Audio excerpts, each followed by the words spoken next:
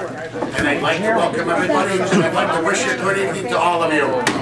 This is the College of Complexes, my name is Tim, and I'd like to welcome everybody to another brisk Saturday night of rousing, round speechifying and good conversation. Yes, speechifying. Remember, there are two rules here at the college. One is no personal attacks. Oh, yeah. Come on, guys, we hear no personal attacks. No personal attack. All right. The other one is one fool at a time. And I guess that's me right now.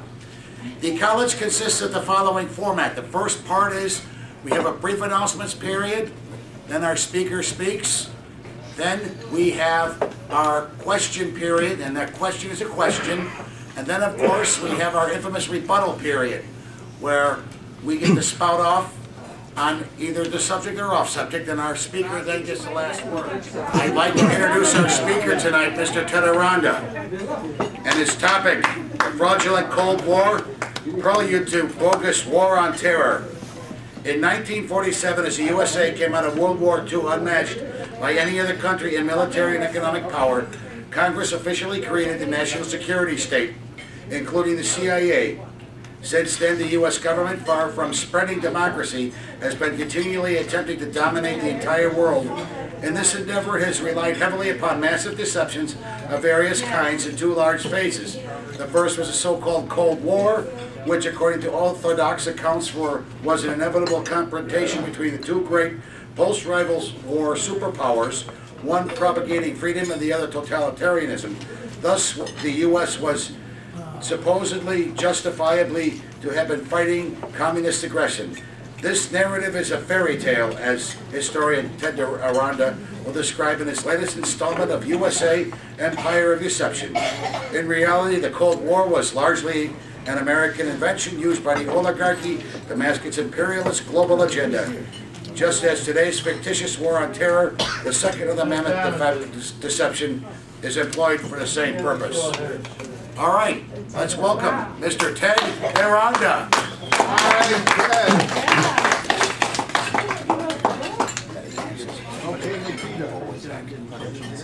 No, you didn't. I'll get it. I'll get it. That's because you put this. That's because you put your glass in front of it. Oh, okay. Let me, uh, let me try this. All right. No. We own the world. Do what it is. He's an Just, just turn away. That turns it on. This one Sound like niggas. and that one. You sound like. Those are the only two you don't have to worry about. You can see it right there. Okay, good evening, everyone. Uh, no, louder, louder, a little bit, a little bit louder. Just bring it, yeah. Okay, can you hear me okay now? Yeah. Okay. Um, First thing I'd like to do, I've been, I've spoken numerous times here, and I really appreciate the opportunity, uh, and I'd like to come here to hear other people as well. Uh, And I'd like to, first of all, thank uh, Charlie and Tim and anybody else who's involved with the College of Complexes for providing this excellent forum for discussion of important topics. Let's uh, uh, give a round of applause to the College of Complexes and Tim and Charlie. Uh, my pres- presentation today is an overview of the Cold War, uh, quote unquote. Okay, and I use quotes because um, the Cold War, the label, is actually deceptive, and I'll be explaining this as I go along. Uh, but at this point in history, of course, the term is unavoidable, so I'll continue to use it like everybody else. For this presentation, uh, I studied the Cold War period up to JFK, but I'll only cover half of that today because uh, I just won't have enough time. so I'll get to the rest in another presentation in the future. But even with the, only this first half of the material, I'll demonstrate that the so-called Cold War was essentially about the establishment of modern American imperialism by the American ruling class.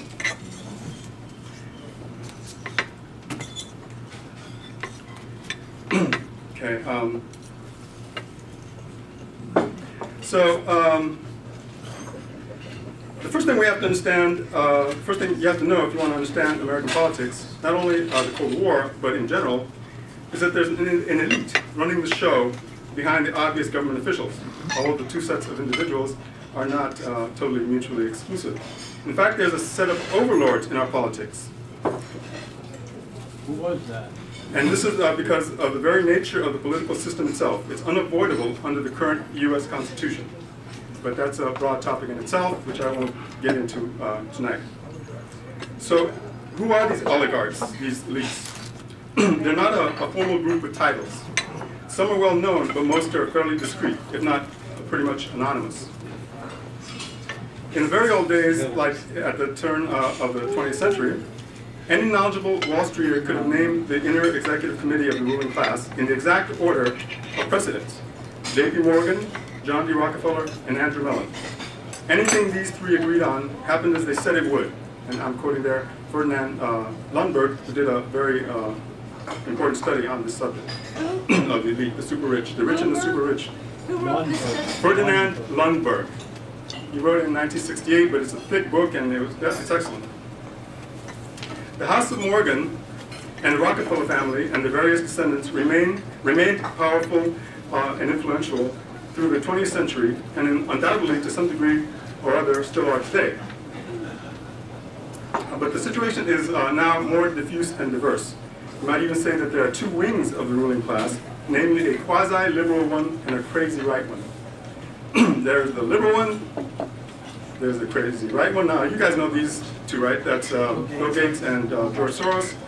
This is the Koch brothers. That was Warren Buffett. Warren Buffett? Okay, yeah, right, right. I'm sorry. Buffett. Uh, excuse me. Buffett. Yeah, thanks for correcting me. It doesn't matter to me who the hell these guys are. They're always pretty much uh, on, on one side or the other. They're fairly similar. But anyway, um, now um, the, the important thing to understand about all of these people is that they're googob rich, right? And they use their money to influence the political process, including literally buying politicians and legislation. Another name for the elite, uh, focusing more on now on the broader institution than on the dominant individuals, is the establishment. The American Heritage Dictionary defines establishment as an exclusive group of powerful people who rule a government or society by means of private agreements and decisions. Edith Roosevelt, a columnist, uh, described establishment as the power elite in international finance, business, professions, and government, largely from the Northeast, who wield most of the power regardless of who is in the White House. A legitimate mafia, that's what she called them. Uh, now, a practical question though is where do these people meet? How do they coordinate their actions and carry out their machinations? To a large degree, the answer is uh, in exclusive private clubs, mainly in New York. And historically, uh, the big ones were uh, the Links, the Knickerbocker, the Metropolitan, the Century. In Chicago, we have uh, a number of them as well. Uh, one of them is, for instance, the Union League Club. Now, some people get really deep into this uh, realm and they talk about other meetings, international ones, the Bilderberg Group, Davos meetings, whatever. Okay, I, I'm sticking to the basics here in the United States. The clubs are to uh, the corporate world what the boardrooms are to individual corporations and what Congress is to the American populace. Again, quoting Ferdinand Lundberg. It's at these places that elites uh, set policies on their agenda for the corporate world as well as national and international politics. um, and by the way, there's the Metropolitan Club. Um, now, let's focus on one of these elites, and probably the most preeminent in the 20th century. This uh, gentleman who just died, if I may call him a gentleman anyway, uh, who just died uh, a few days ago, David Rockefeller. Um, now, Rockefeller, as many of you know, was the chairman of the board of Chase Manhattan Bank, probably the most powerful financial institution in the world for a long time. In his heyday, it was said of David Rockefeller that he probably wields more influence than any other man on earth. Uh, one prominent backer said, I don't think Richard Nixon, uh, when they were contemporaries, tells David Rockefeller what to do. If anything, it's the other way around. Also uh, said of David Rockefeller was that the presidency for him of the United States would be a demotion. A new kind of tycoon uh, is what he was, uh, this guy David Rockefeller. He was cast in a new mold. The elder Rockefellers wanted to raise a great business leader like John D., but they also wanted David to be suave, cool, and sophisticated, unlike his infamously ruthless grandfather. The days of the robber barons were past. A new sort of corporate titan was needed. and one reason is because um, there was a transition from uh, industry-based, an industry-based economy to a more finance-based economy. You have to be a little bit more smooth for that. Now, um, it was said, also said about Rockefeller that international business is what David is all about. His grandfather's uh, Standard Oil Company had been the first great modern multinational corporation. Much of the Rockefeller fortune has been linked to uh, foreign investments ever since. David Rockefeller uh, had a vested interest in maintaining the established order overseas so that repayment on his bank loans would be guaranteed and his business, businesses would run smoothly and, and profitably. Like other American internationalists, he needed protection for his investments and for the overseas expansions he was always uh, pursuing. And this protection would, of course, be in the form of the U.S. government with its military. now, to give you just a little taste of uh, how these people live, this is uh, one of the houses, uh, mansions on their estate. The Rockefeller estate um, is five times larger than Central Park. It's just a little north uh, west of New York City. Uh, it's called Kykuit, and it's been described as an Alice in Wonderland creation on an estate that requires 500 full-time employees just to keep going. And that's just a small piece of it. uh, these people, they live in such splendor, but nowadays it's a little bit uh, more uh, hidden. Uh, in the old days, they used to live on castles uh, on top of the hill overlooking the village. Now, uh, we don't even know what these people are up to um, in terms of the possessions they have. Um, or a lot of them anyway.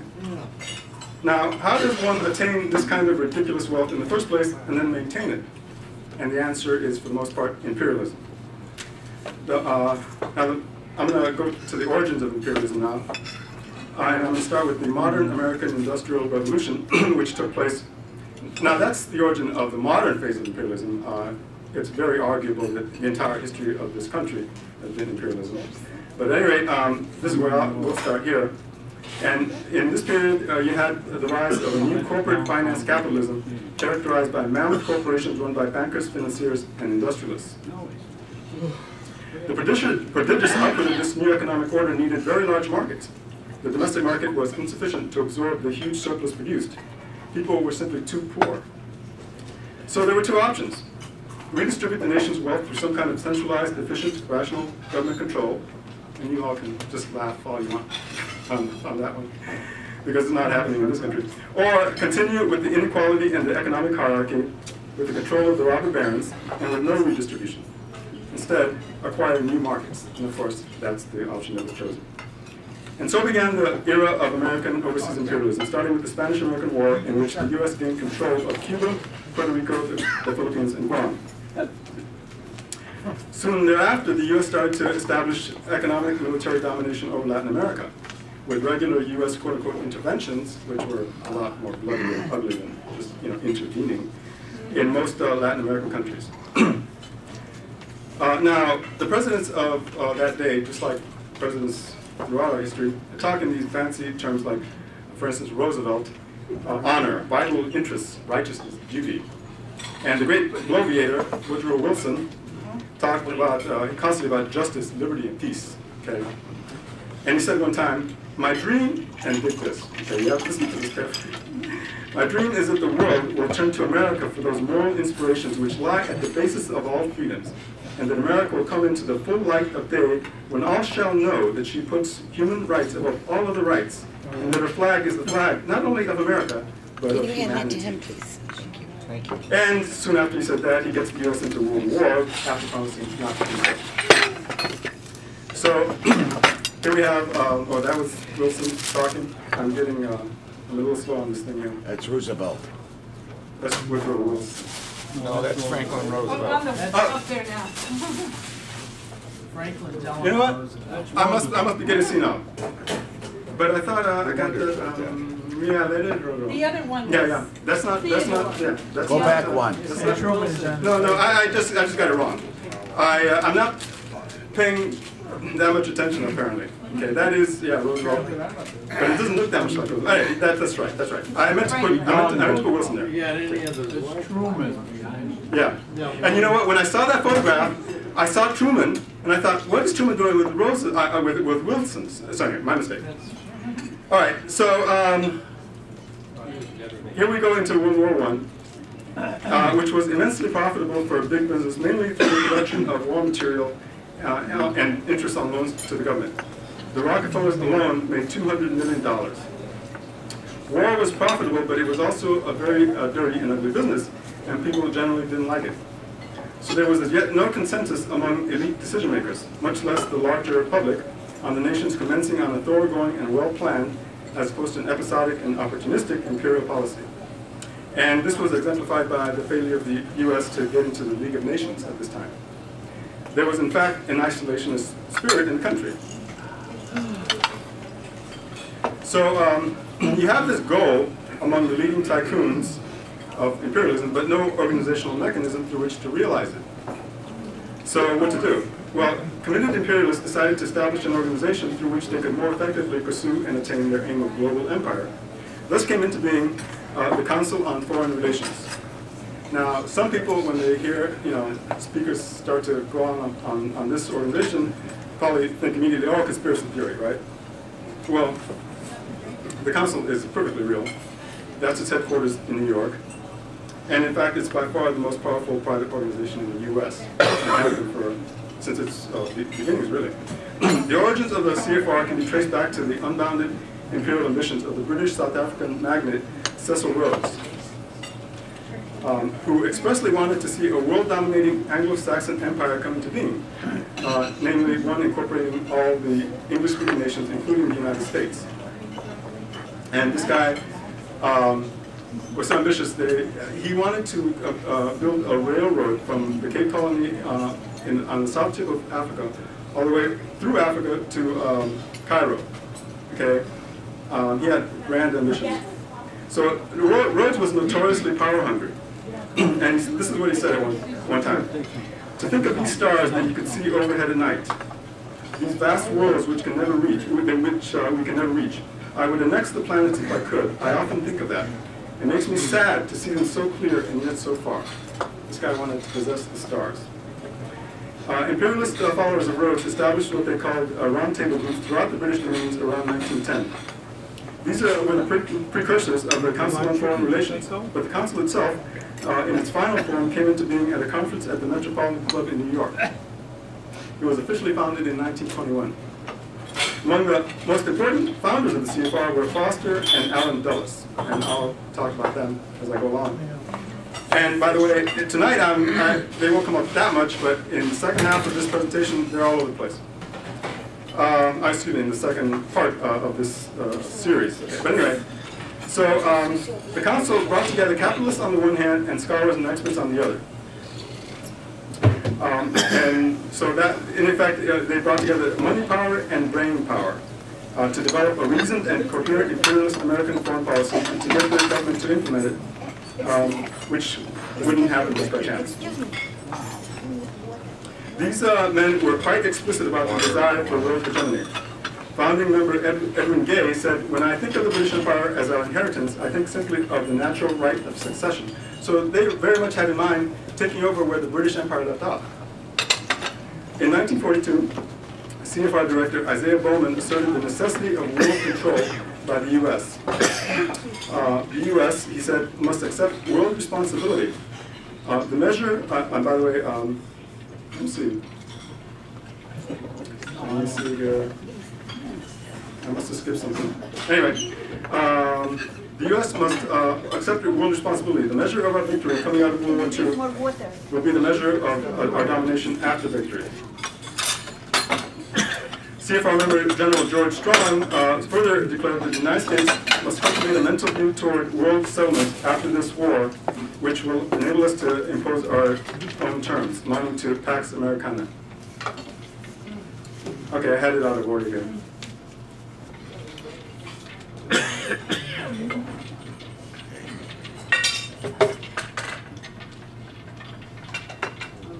me see. Did I mention? Uh, did I mention? Hold on a second here.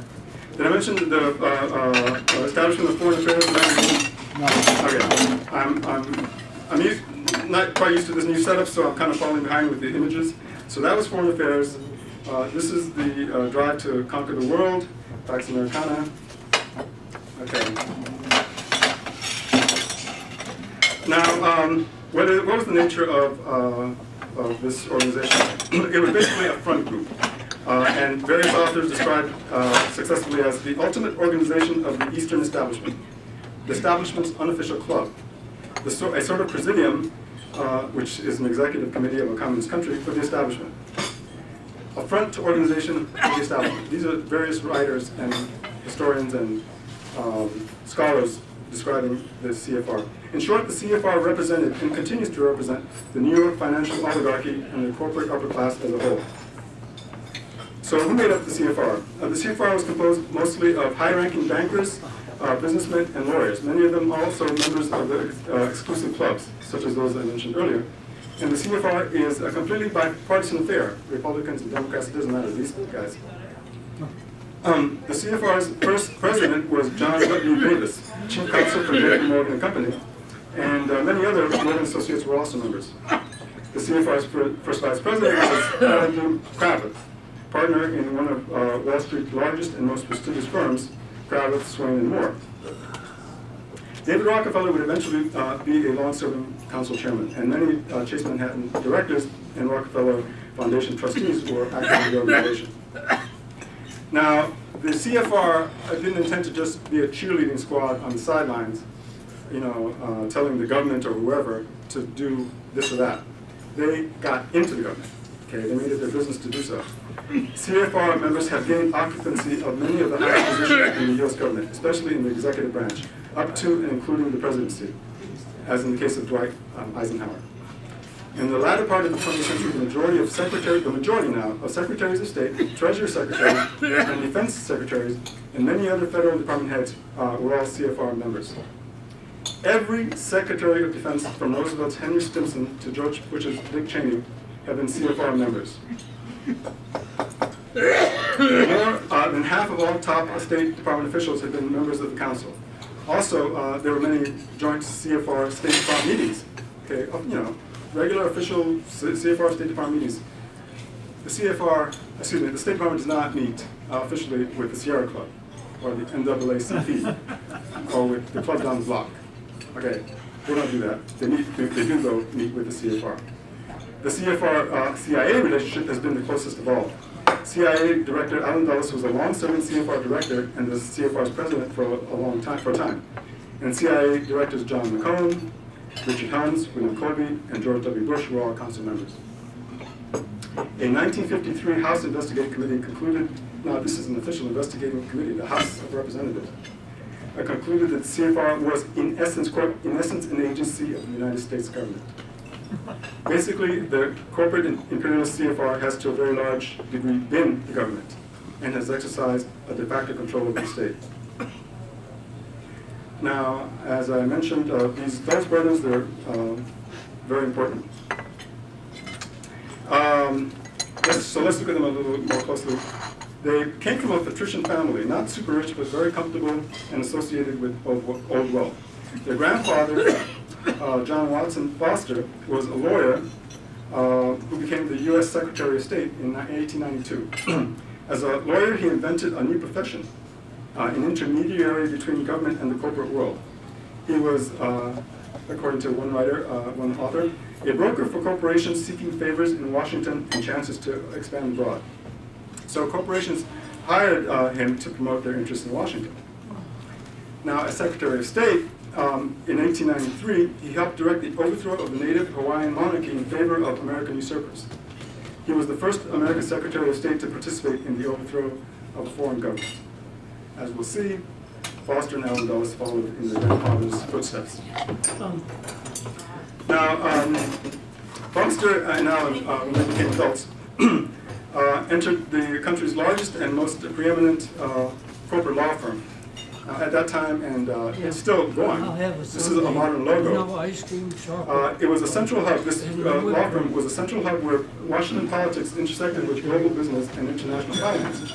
So if you were, um, if you had big money, and you wanted to get into Brazilian railroads, or Peruvian mines, or Cuban banks, you went to Sullivan and Cromwell. Working and excelling in this review, the brothers became potent advocates for America's richest men, banks, and corporations. Simply put, they were the servants of the plutocrats. or should- they were servants of the plutocrats. Their job was to protect the right of the American elite corporations to operate freely in the world. In this profession, Foster became the highest paid lawyer in the United States, and Allen also became rich. Um, now, they moved on to government office.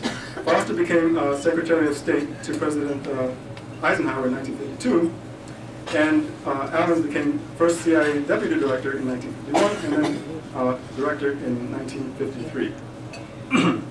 Short of the presidency itself, the brothers had reached the pinnacle of American governmental power. But since they actually served in even higher power, the oligarchy behind the throne, the Dulles brothers were not intimidated by mere presidents. Significantly, uh, there are very strong ties between uh, the Dulleses and David Rockefeller. Foster would become chairman of the Rockefeller Foundation. After becoming the head of the CIA, Allen was given funds by the Rockefellers to privately help finance CIA projects. So who do you think uh, they're going to help out in their projects? CIA agent um, Tom Braden recalled, I often briefed David, semi-officially and with Allen's permission. He was of the same mind as us and very approving of everything we were doing.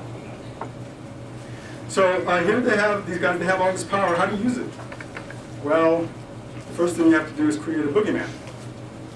Right after the Second World War, even before he became Secretary of State, I mean, right after coming out of the gate of World War II, Foster Dulles and, and his imperialist uh, colleagues started demonizing the Soviet Union. Stalin was portrayed as the devil incarnate, a devious plotter with a blueprint for world domination. President Truman declared that the Soviets were, quote unquote, planning world conquest. This uh, Cold War party line was promoted by Foster. He ranted about a Soviet threat aiming to eliminate free societies. The communist Soviet Union, he proclaimed, was pursuing power over the entire world, meaning a diabolical challenge to established civilization. So you all have probably heard about the psychological phenomenon of projection, right?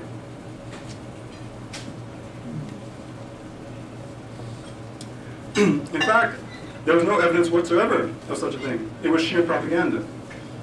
It was also extremely simplistic, a good versus evil view of the world.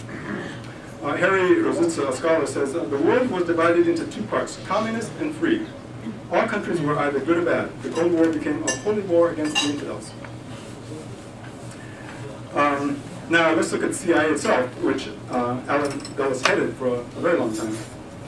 The actual machinery to fight the Soviet Union's supposed world communism agenda was created by the National Security Act of 1947, which instituted the Department of Defense and the Central Intelligence Agency. Tellingly, the original, original name of the Department of Defense was the National Military Establishment.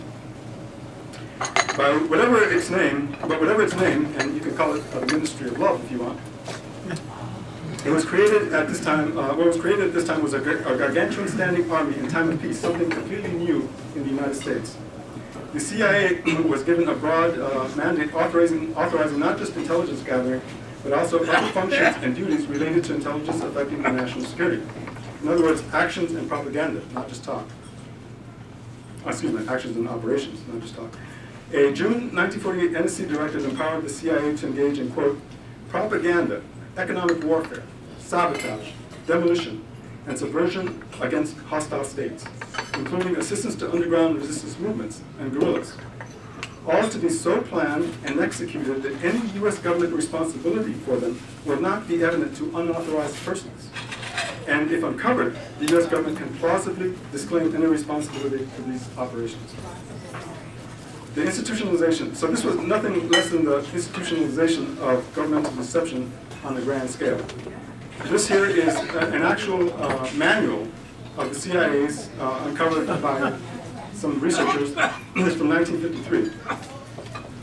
Um, this is what William Casey said in 1981 at a meeting with uh, the cabinet, between the cabinet heads and um, Ronald Reagan. And Ronald Reagan had asked all these guys, what is the purpose of your, he was just coming into office, what is the purpose of your uh, office, of your um, department? This was uh, Casey's answer. Or, you know, when will you succeed? Well, no, our disinf- uh, disinformation program is complete. When everything the U.S. public believes is false. Yeah. Okay? Now, this is what is uh, engraved on a wall at the CIA, CIA headquarters. All right. All right.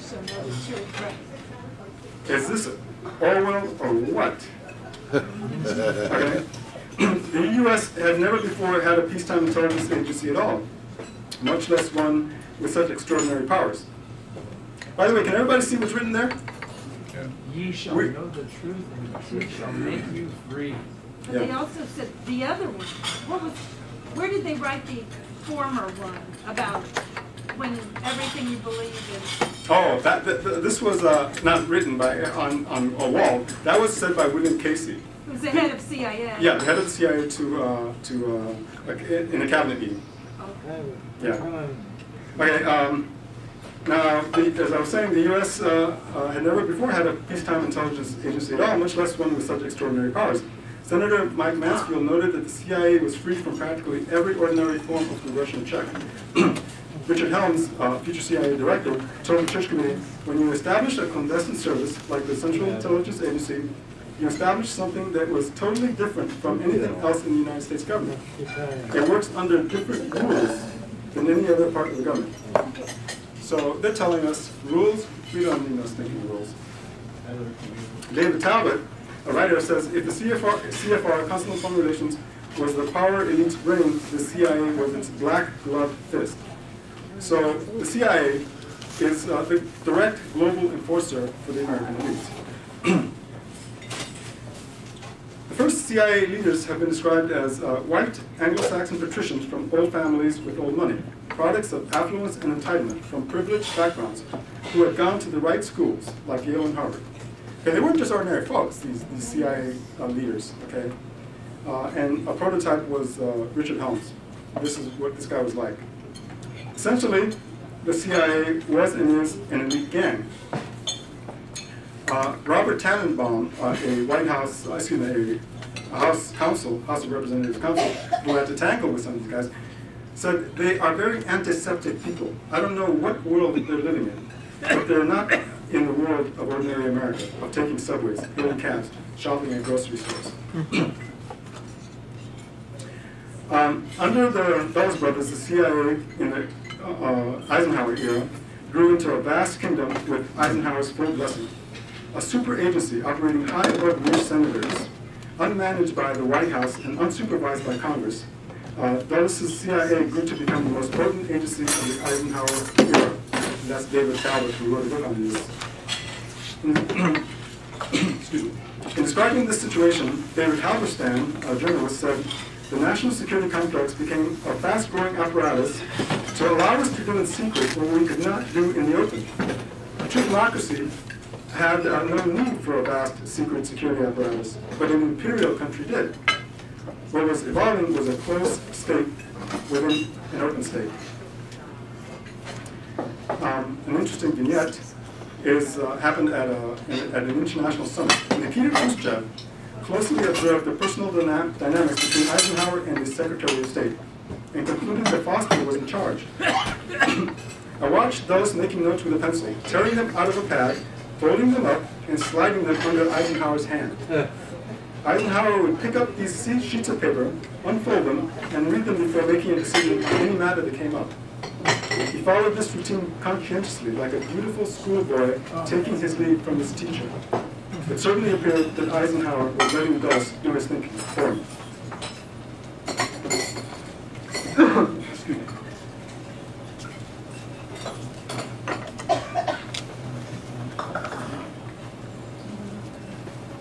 Now, um, let's look at this supposed CIA uh, enemy, this tremendous enemy that they have to fight.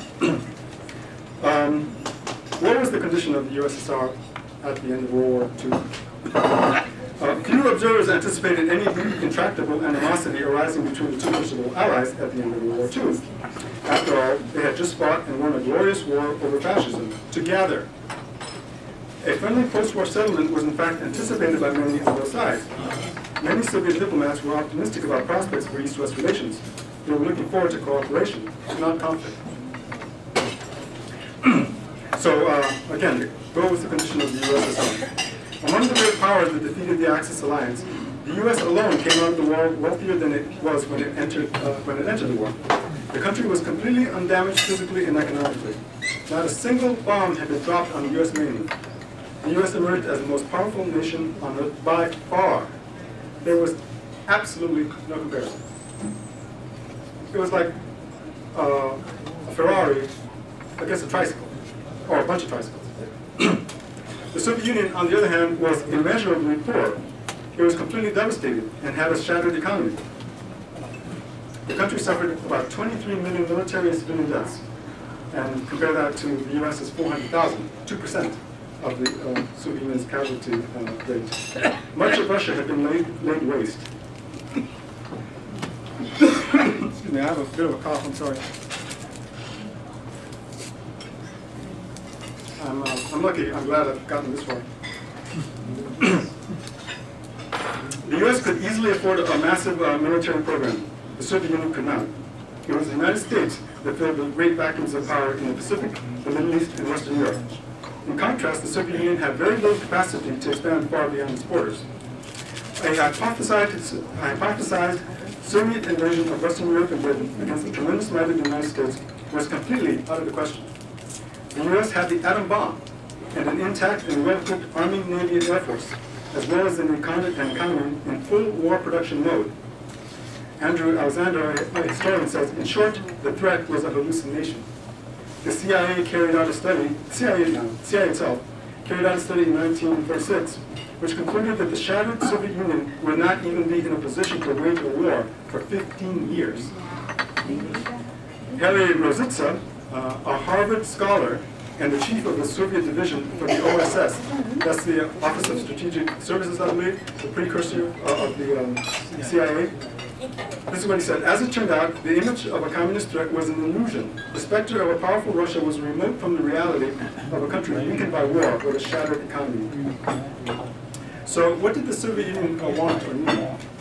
Neither Churchill nor Roosevelt challenged the idea of a Soviet security buffer zone and sphere of influence to, in, uh, to its west. The region through which the Soviet Union had been invaded and almost destroyed by Germany twice in the past couple of uh, decades. That's what the Soviet Union faced, twice. Um, so a frontier arrangement uh, of this sort, a, a, buffer zone, was considered obvious and only natural, not at all controversial. The Soviet Union, and this is uh, another author, actually this is Alexander, the Soviet Union had been invaded through Finland, Poland, Romania, Bulgaria, and Hungary.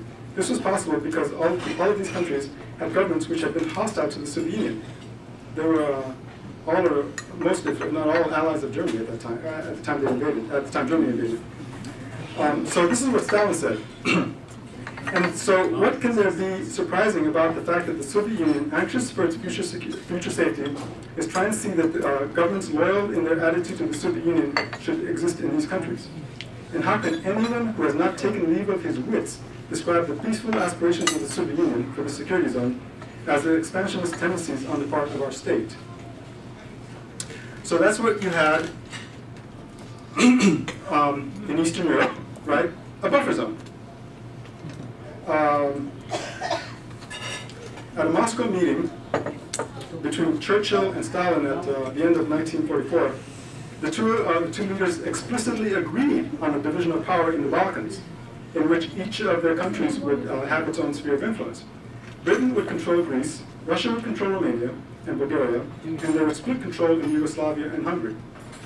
At the meeting, Churchill laid out this division on a piece of paper and passed it over to Stalin. Stalin looked over it, looked it over, checked off each line, and passed the paper back to Churchill. That's what the, they uh, agreed to. um, the U.S., of course, has its sphere of influence, right? It has its own freaking hemisphere, two continents which nobody, practically nobody, disputes at all. That's just a given. Don't mess with us here. Henry uh, Wallace, a liberal Democrat in 1946, said, We have no more business in the political affairs of Eastern Europe than Russia has in the political affairs of Latin America, Western Europe, and the United States. Whether we like it or not, the Russians will try to socialize their sphere of influence just as we try, are we're trying to democratize our sphere of influence. So uh, what were Stalin's personal motives? And uh, we'll, also, we'll also look at the communist ideology regarding world politics very briefly. Stalin was actually not interested in having strong independent communist governments in Europe, in Western Europe. He wanted there to be communist parties in Italy and France that he could control, but not communist parties in power as independent governments. His policy was to keep Moscow as the absolute center of the communist world and thus something he alone could control. Communist parties with real power in Europe shift the center of gravity of communism from Moscow to the West, thus threatening Stalin's personal power and status. Stalin was a despot, okay, there's no question about that, and as such was uh, principally concerned with his own survival rather than with ideological issues. In 1924, he famously abandoned the great communist global ambition of a world proletarian revolution and instead proclaimed that, uh, that henceforth, henceforth the Soviet Union's aim would be merely socialism in one country. Excuse me. Convinced that Marxists did foresee uh, the worldwide triumph of communism as inevitable, but only as a matter of time, as something that would eventually happen due to the sheer attractiveness and irresistibility of communism to the world's oppressed people. In general, they didn't think in terms of imposing communism on far-flung nations against their wishes. Thus, one of history's greatest ironies is that the West, namely the United States, took communist doctrine more seriously than Joseph Stalin did, or at least they professed to. At the end of World War II, the Soviets were much more concerned with practical matters having to do with border security. British Foreign Secretary Anthony Eden regarded the Soviet position after the end of the war as one driven by natural motives of defense, not offense. The plain fact is that there was no serious Soviet threat at the end of the uh, at the end of World War II to either the West or the Third World.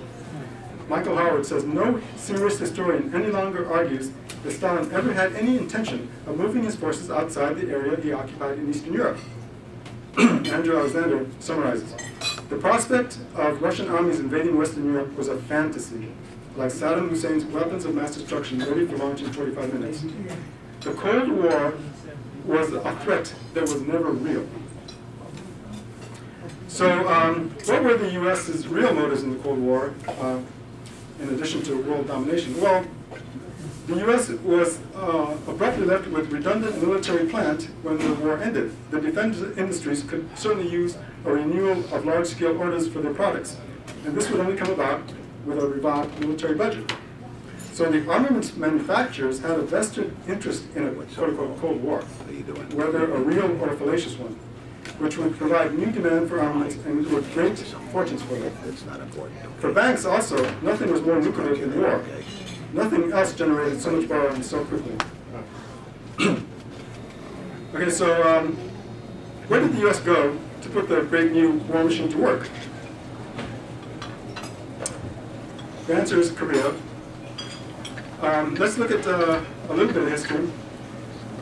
Korea was a stable unitary nation for a millennium. Okay, there was one Korea, one Korea. It was one of the oldest nations on earth, with an indisputable national identity and a unique homogeneity. This is a map of the Chosun dynasty, dynasty which lasted for 500 years. Okay, more than twice as long as the had been in, in existence.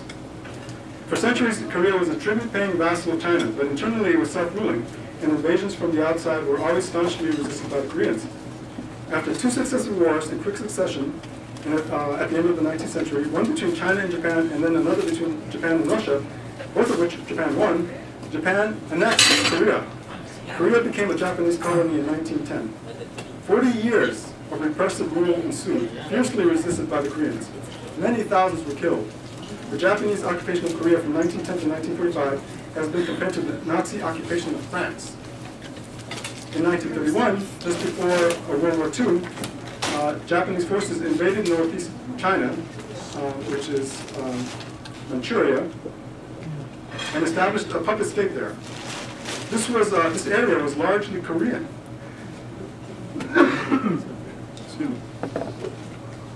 This area was largely Korean. Two million Koreans lived in Manchuria. Um, it was even called Greater Korea. The resistance to the Japanese, in fact, consisted mostly of Koreans. The Koreans were also heavily involved in the Chinese Revolution there. Kim Il-sung had been a principal guerrilla leader against the brutal Japanese counterinsurgency. He was commander in the Sino-Korean Army around 1936. 200,000 Koreans were killed by the Japanese during this period. Understandably, Kim Il-sung's primary principle became unity above all else. Okay, so um, at the end of uh, World War II, Japanese were ready to surrender to the Allies. The Soviet Union had gotten into the conflict at the very last moment, so the Americans, with the Soviets' uh, consent, arbitrarily divided Korea at the 38th parallel for the purpose of accepting the surrender of Japanese armed forces. Uh, Soviet forces then occupied the north and American forces occupied south. John Allison, a U.S. official at the time, said this line was agreed, agreed upon only for the surrender of Japanese troops. When U.S. Army uh, Commander General John Hodge landed at Incheon, which is very close to uh, Seoul, the capital there, um, on September 8th, he found already in place and thriving a united Korean People's Republic. They already founded their own unitary country, which had been founded in Seoul immediately after the war. Notice it was founded in Seoul, not Pyongyang, okay, uh, in South Korea, in the southern part of Korea, I should say. No one was thinking in terms of two Korean states. The Korean People's Republic was anchored in institutions called People's Committees, which were established throughout Korea, North and South in August 1945. And these were local organizations of the new People's Republic. They were patriotic, anti-colonial groupings that uh, set about removing Japanese or right-wing pro-Japanese collaborators from positions of authority. There were government councils, a type of local self-government organized by many cities and towns. And this is a, a map uh, showing many uh, districts of South Korea with uh, people's committees. The people's committees were relatively democratic populist organs composed largely of poor peasants along with Workers' Party members and many women. Dean says great numbers of peasants held a government post for the first time in their lives. The committee's program uh, prominently included land reform, uh, that is land redistribution, taking land from large landlords and giving it to landless and to peasants with small plots. So it was a somewhat socialistic uh, program, right? What's the big deal? A, so, a, CIA report on the People's Committees uh, described them as a grassroots independence movement based in resistance to the Japanese. This report called the leadership of the right, by contrast, that numer- this is a CIA report now, okay? These guys, you know, they do actually do tell us summertime, okay? They don't necessarily, and then they do other things as well, obviously.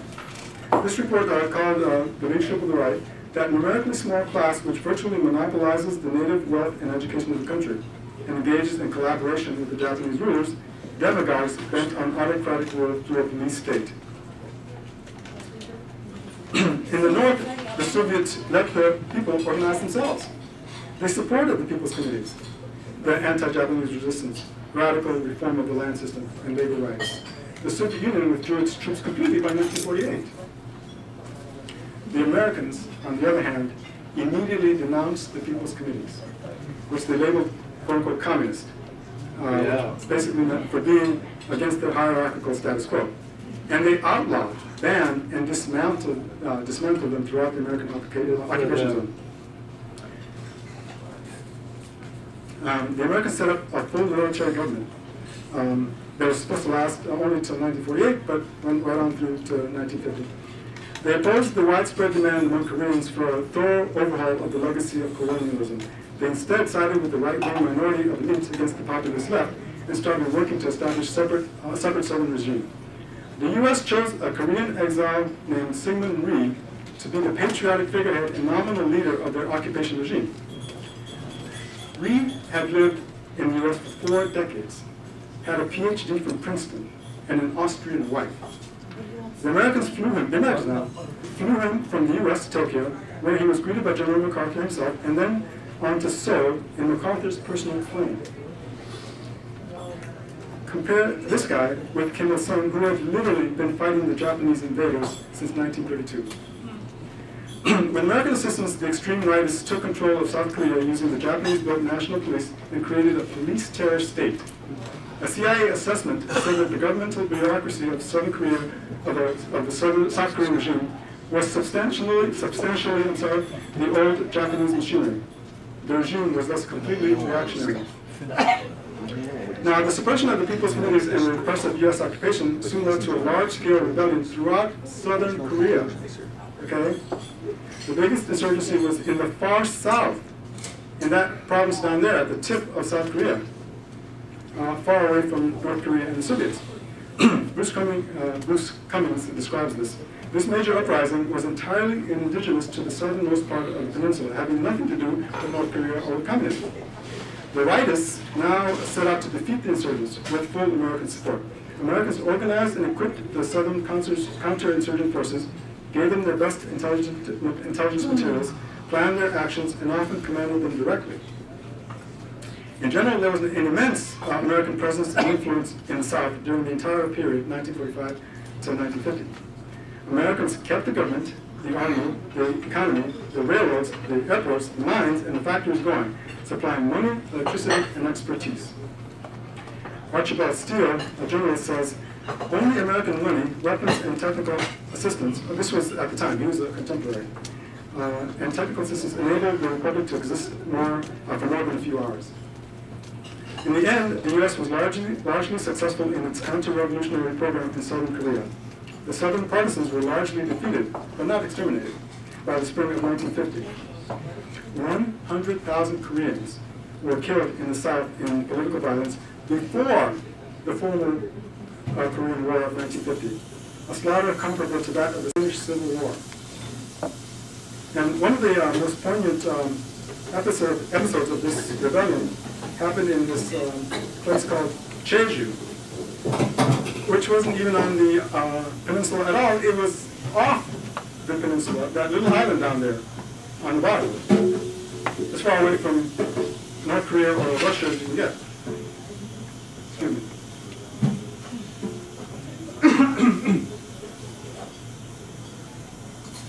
It turned off.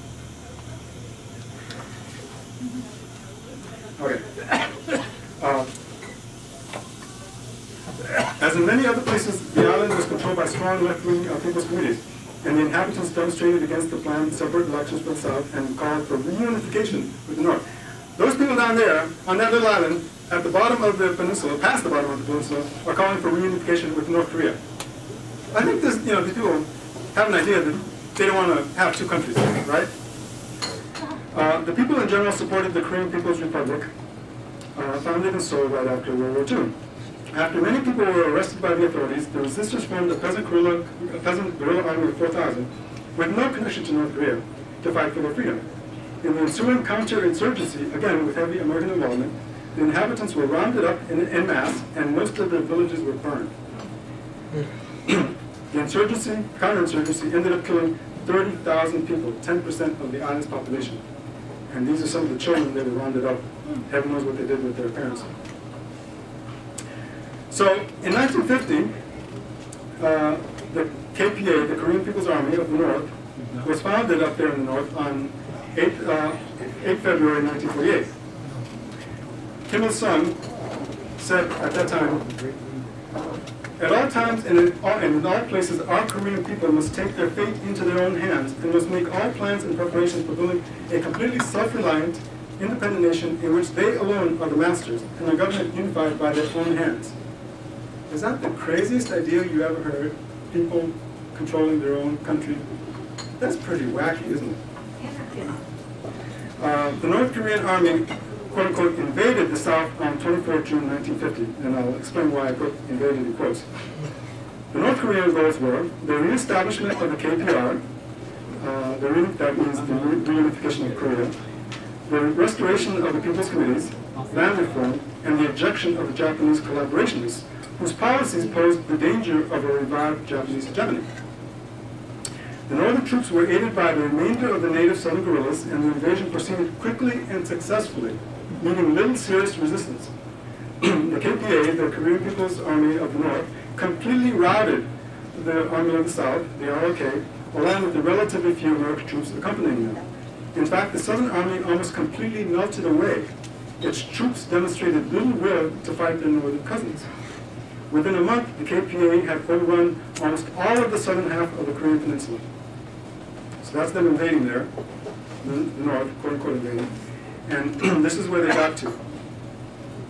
Yeah. Now, at this point, at this point, the U.S. entered the war in force. Uh, the Marines arrived, uh, halted the rout, and stabilized the situation at the Pusan perimeter. That's the border of that little blue area there.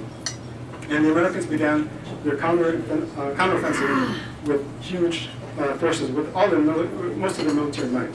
Okay. Uh, U.S. technology, uh, vehicles, firepower, and planes were, was decisive in turning the tide. And American colonels said the operations were a mismatch of a fine, modern, mechanized body of soldiery against a peasant army of uh, light infantry. So this is what uh, the U.S. brought to the, to the conflict. Serious um, war machinery. Very significantly, it was Secretary of State Dean Acheson, a key establishment figure, CFR, Council on Foreign Relations member, who made the decision to intervene in force. President Truman was merely approved, excuse me, uh, he merely approved this decision once it had already been made by Acheson.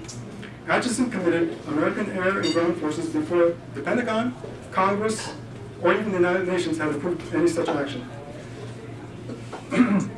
Uh, George Kennan, an American diplomat, said the course actually taken by this government was not something pressed on Acheson by the military leaders, who were actually extremely reluctant, reluctant to commit to infantry, but rather something arrived at by himself in solitary deliberation. Now this is his colleague, you know, this is his colleague, this isn't some wild person talking. Uh, Dean Acheson, a, uh, a fellow CFR member, uh, an, an American diplomat.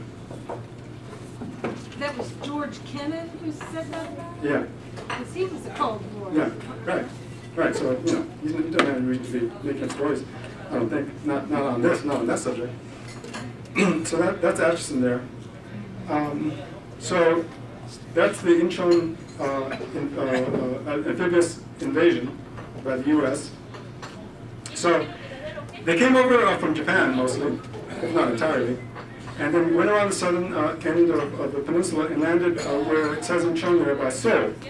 Okay, and then they're pushed out of the uh, uh, peninsula north, and um, I'm not going to go through the whole war, but they ended up going almost to the border of China, and then somewhat uh, mysteriously and uh, suspiciously, uh, the, the North Koreans and the Chinese were able to push them back, and they were they were uh, running back, uh, not even giving much resistance. So uh, one uh, uh, theory, I haven't gotten that much into this, but one theory is that the United States didn't actually want to win the war. They wanted a conflict. They wanted a perpetual conflict. Okay, and the same thing uh, is perpetuated in was perpetuated for a long time in Vietnam, which they actually lost, which they didn't seem to mind that much losing. And of course, you have Afghanistan, Iraq. These things go on forever. Like the United States couldn't defeat Afghanistan. The, the idea is preposterous. Uh, okay, so after the Incheon invasion, Kim Il Sung appealed to Stalin and Mao to intervene uh, with their own forces. Stalin um, declined and accepted the loss of the war by North Korea. He was clearly intent on staying away from the fighting and keeping the Soviet Union out of another great war.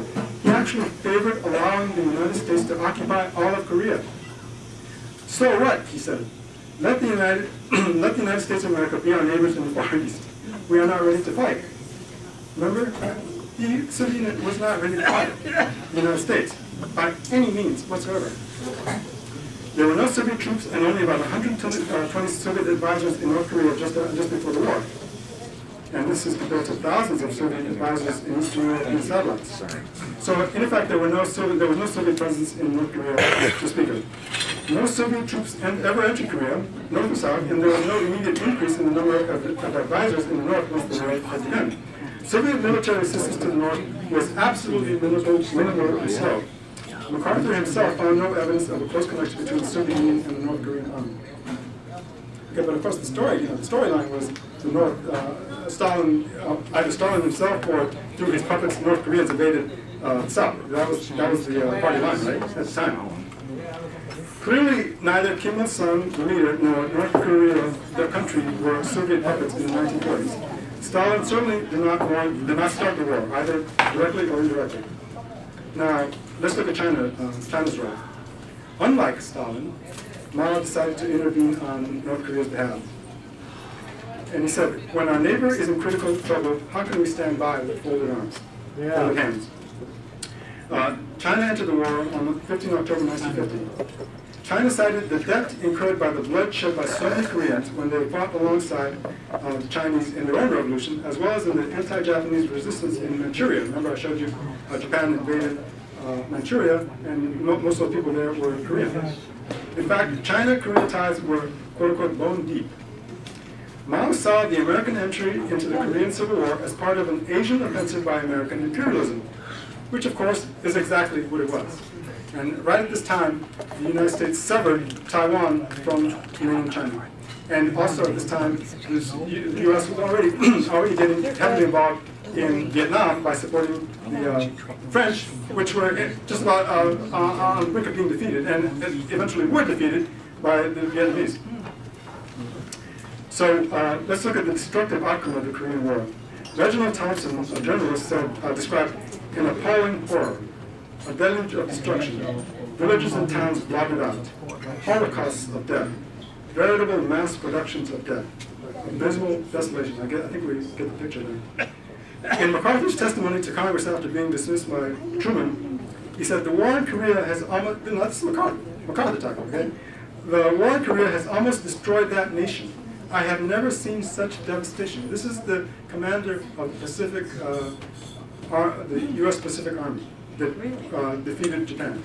Went hopscotching from island to island, um, fighting like tigers.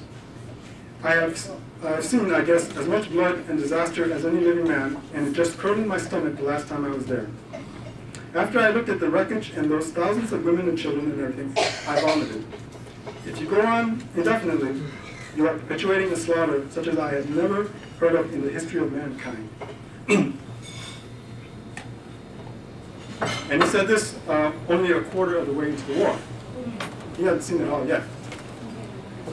By 1952, just about everything in North and Central Korea was completely leveled.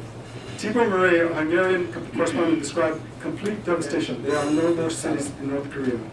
Pyongyang was burned to the ground by incendiary bombs. The city was converted into a field of rubble and building fragments. Uh, British lawyer Jack Gaster described a population reduced to a quote-unquote troglodyte existence, that is, living in caves or underground shelters. the U.S. carpet bombed North Korea with no concern for civi- civilian casualties. In fact, civilians were targeted. Warplanes conducted massive firebombing raids with napalm. And that's the devastation to uh, Pyongyang. One picture of it. That's Wonsan, a, a, a, um, another city in northern Korea. And this is Daejeon, uh, a city in the in central southern Korea. I mean, they leveled the, the whole place.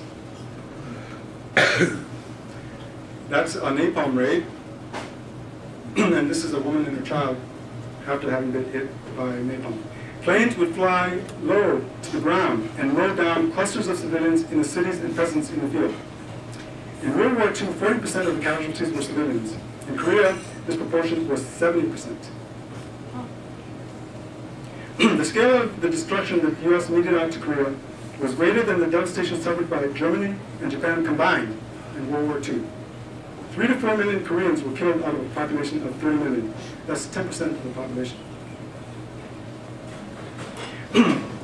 now, if you compare uh, this to uh, a similar attack on the United States today, uh, in proportion, we're talking about 30 million people killed. 30 million. That's the combined population of our 15 largest cities. From New York, Los Angeles, Chicago, Houston, Philadelphia, Phoenix, them all. San Antonio, San Diego, Dallas, San Jose, Austin, Jacksonville, San Francisco, Indianapolis, Columbus. All wiped out, every single person in those cities wiped out the face of the earth. That's proportionally what the United States did to Korea. So needless to say, it was nothing less than a genocide war. And of course also killed were 37,000 Americans and hundreds of thousands of Chinese, the Chinese who fought with the North Koreans. So what were the specific goals and strategy uh, of the U.S. besides general imperialism and making profits for the arms manufacturers?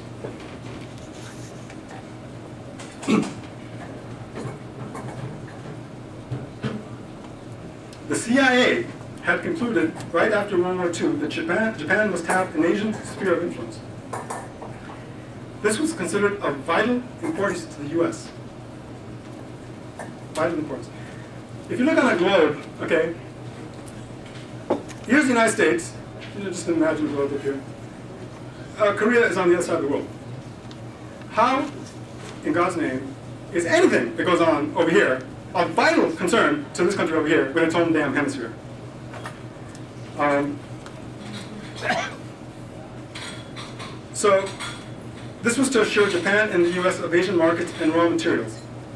The, the emergence of anti-colonial regimes in the area would negate that goal.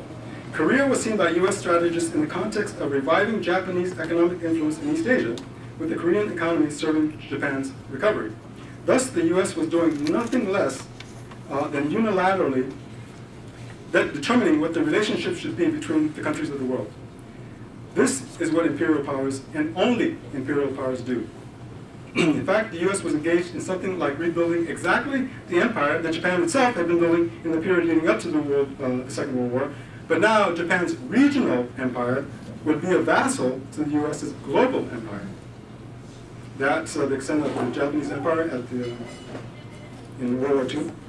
So the U.S. wants that to be more or less to be uh, rebuilt, but now they are they're the top dogs. They're the ones in control. All of this was part of uh, Dean Acheson's CFR, a great crescent strategy linking Northeast Asia with the Middle East with Persian Gulf oil. So imagine this crescent going down, this line going down from Japan and Korea, down uh, uh, below uh, China through uh, East Asia there, and up to the uh, oil fields of the Middle East, basically. And this would entail the conversion of Japan into an American military base, a subordinate ally with a revived, but now American supervised Asian mission. So let's look at uh, what was this uh, Korean War really um, about in terms of the Korean people. It was basically a civil conflict between a nationalist, anti-colonial, revolutionary left and a reactionary right. It was most probably, it most probably would never have reached the stage of full-blown war at all, but for the U.S.'s occupation of the South and support the right-wing elites in that part of Korea. but having gotten to the point of war in 1950, the conflict, as many scholars have concluded, was clearly a civil war within a single country, something which all peoples have a right to deal with themselves, free from violent foreign intervention. The 38th parallel was nothing but an arbitrary, imaginary line that no one had ever noticed before in Korea's continuous history. This line was therefore not an international boundary at all that could be transgressed. Hence the idea of North Korea, quote unquote, committing international aggression by quote unquote invading South Korea is actually rather nonsensical. And this civil war, when started, should have been quickly resolved. Robert Simmons, a commentator, says uh, a potentially swift and relatively bloodless reunification was converted into carnage by the intervention of the United States. Hugh Deane says the forces of revolution, North and South, had victory in sight when the United States began its massive, devastating intervention. Remember that? They had almost, yeah, I'm, I'm, sounds good. Um, they had almost won. And the country would have been reunited. I don't think uh, the Earth would have stopped its rotation around its axis. Sum, the U.S. had zero business being in Korea at all, much less inflicting on its people one of history's most horrific and genocidal mass murders. The aftermath of this war.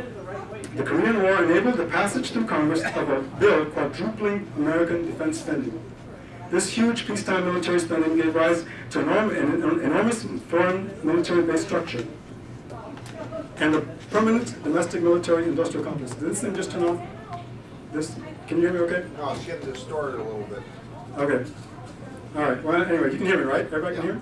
Yeah. All right. Um, so uh, even, and this was even as the United States already possessed superior overall power. It also funded the development and production, uh, the war that gave rise to the development and production of the new hydrogen bomb, a weapon even more powerful than the atom bomb by a factor of a thousand, up to a thousand. That's the test of the Bravo nuke uh, hydrogen bomb in uh, 1952 or thereabouts. And this is the same um, bomb in, at successive stages as it went up. This was, they were doing this, testing this and making these bombs after World War II, after they had won, after they had used the atom bomb on Japan. I mean, what, what were they thinking of, you know, fighting with that kind of weaponry?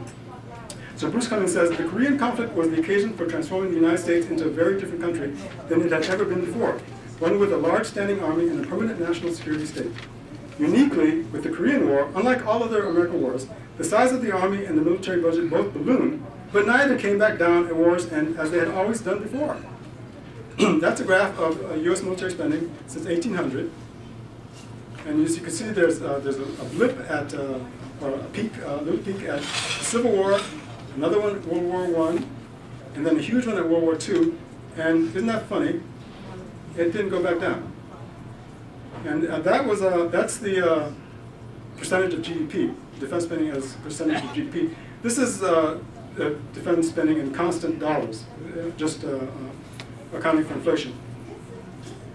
Do you see something kind of kind of funny there? Um, practically very little spending until World War II, and then around 1950, right around right, right around the time of the Korean War, or before the Korean War, there's a dip. Right after after World War II, there's a dip because it's going down. Wha- Who are we fighting? What do we what do we need a huge military for? And then the Korean War, and it, it blasts up, and, and it stays there. this militarization of the country was all done through deception on the part of the elite, not through democratic decision by the American people. This was in fact, there was in fact never any veritable Cold War between two great global adversaries following World War II. Just American imperialism. Thank you. Oh, yeah.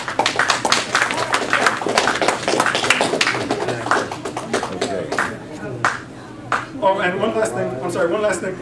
This is um, our organization, Uh, we have some members right in here, and uh, we invite you to uh, check it out at that uh, web address, raftd.org. You press it, press the off on the, on the screen slide. Do what? The, the, turn it off. Uh, you just, you just, you just hit the top button. I'll, I'll take care of it. Okay, ju- just, just, just go ahead and take questions. Okay. Okay. We'll have a, today's now the question and answer period. If anybody's got uh, questions, uh, we'll try to uh, answer most of yours as fast as we can. We have a fairly large crowd tonight, so the question and answer period will be a little shorter than normal. Jonathan? Yeah, thanks Ted for a great talk. Uh, Cheney and Donald Rumsfeld had a conversation where they said we finally kicked the Vietnam syndrome. It seemed like they, at least amongst themselves, felt like the public was on board for more militarism in a hyper uh, expansionist way.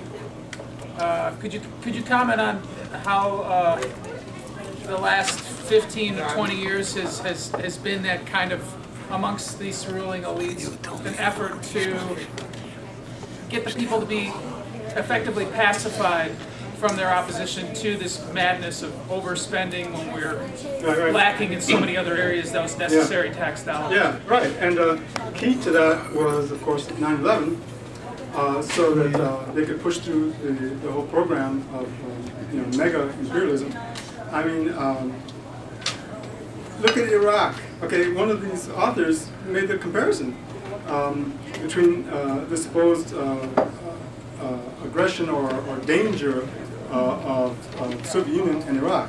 Okay, now, of course, Soviet Union was actually a great power, not Iraq wasn't, but the, uh, the actual danger and threat to the United States was pretty much the same, which was none. Okay, so they, they have to um, make it seem like uh, there's this quote-unquote threat. They have to build it up. It's, it's sheer propaganda, which they're very good at, and uh, they use psyops. They use um, uh, uh, dirty tricks and, and, and, and actually, in, in the case of 9/11, mass murder. They killed those people on, on 9/11. Um, but using all kinds of machinations, uh, as I showed you with the CIA, that's what that's what their business is.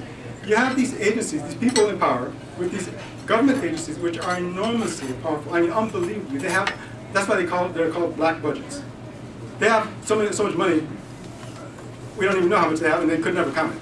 Remember uh, uh, uh, Donald Rumsfeld, the day before, 9 I think it was the very day before 9/11, uh, got on, uh, on TV and said, um, "We can't account for 1.2 trillion dollars." Two point. or two point something trillion, whatever it was, some ungodly. That's what they use to carry out their uh, their operations. Uh, so, does that answer your question? Jim? I would like you to speculate as to what you see happening over the next 20 to 30 years with the world economy and just basically think where the role of the United States is going to be. I'm not a, I'm just, I'm just asking just to speculate a little bit. You know a lot about the conspiracy. You've obviously thought about it. Have you thought about what we need to do and, you know, instead of just saying, oh, you need to do this, what is the possible consequences of this policy taste 10 to 15 to 30 years out? uh, you mean the policy of uh, a, a, ra- an out of control American uh, national security state, military industrial complex, uh, deep state? Well, you know, if that's what you think, I'd like to hear a little bit more about it and what you think might be happening in the future. Well, um, they are capable of doing um, uh, things that literally we can't imagine. Uh, my next talk is actually going to be on chemtrails. Does uh, anybody here know much about chemtrails? Um, does anybody? So hardly anybody here has even heard of chemtrails. I've heard. Okay, We had a presenter here before. you have it? We have had somebody on Really? Oh, I'm chemtrails. I'm gonna have to look that up. Okay, to me personally, um, and I can only answer this question, or I sh- it's best for me to answer this question sort of in, in a personal way. Um, this is like the biggest thing. It's blowing. It's blown my mind. It's blown my mind completely.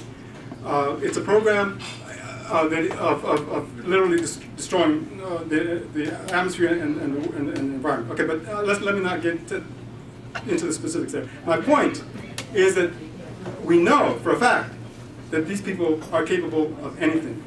Um, and their, uh, their purposes, uh, sometimes we, we can hardly even uh, fathom. Uh, what, I, what I think of when I, when I, uh, what I think of uh, when I look at these people sometimes nowadays is the conquistadors.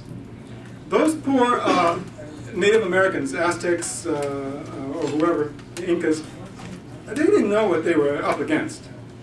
They didn't know that they were dealing with devils in human form. And that's basically why they were run over.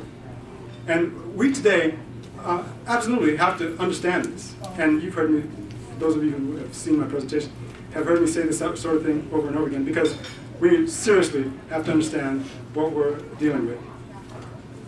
Okay, no, that, that, that, that's acceptable. Thanks. Yeah, uh, you said at the end of World War II, Russia was not a military, uh, power. Yet, after the Battle of Kursk, the Russian army pushed the German Wehrmacht all the way to Berlin and captured it and defeated Germany. I think that's a pretty good military machine. Yeah, I- Nobody else had been capable of doing that. I didn't, I didn't They, say they were the finest, the strongest military on earth. The, the, the Soviet Union. Yes, Germans. Do what they did it. They had, look, they had a strong army. I didn't say that the Soviet Union uh, was uh, utterly weak on an absolute level. My point was in comparison to the United States. Okay, uh, the U.S. There's no way that the Soviet Union could confront the United States. Uh, first of all, the United States They had just defeated Germany. the, the, first of all, the, the Soviet Union did not defeat Germany by itself.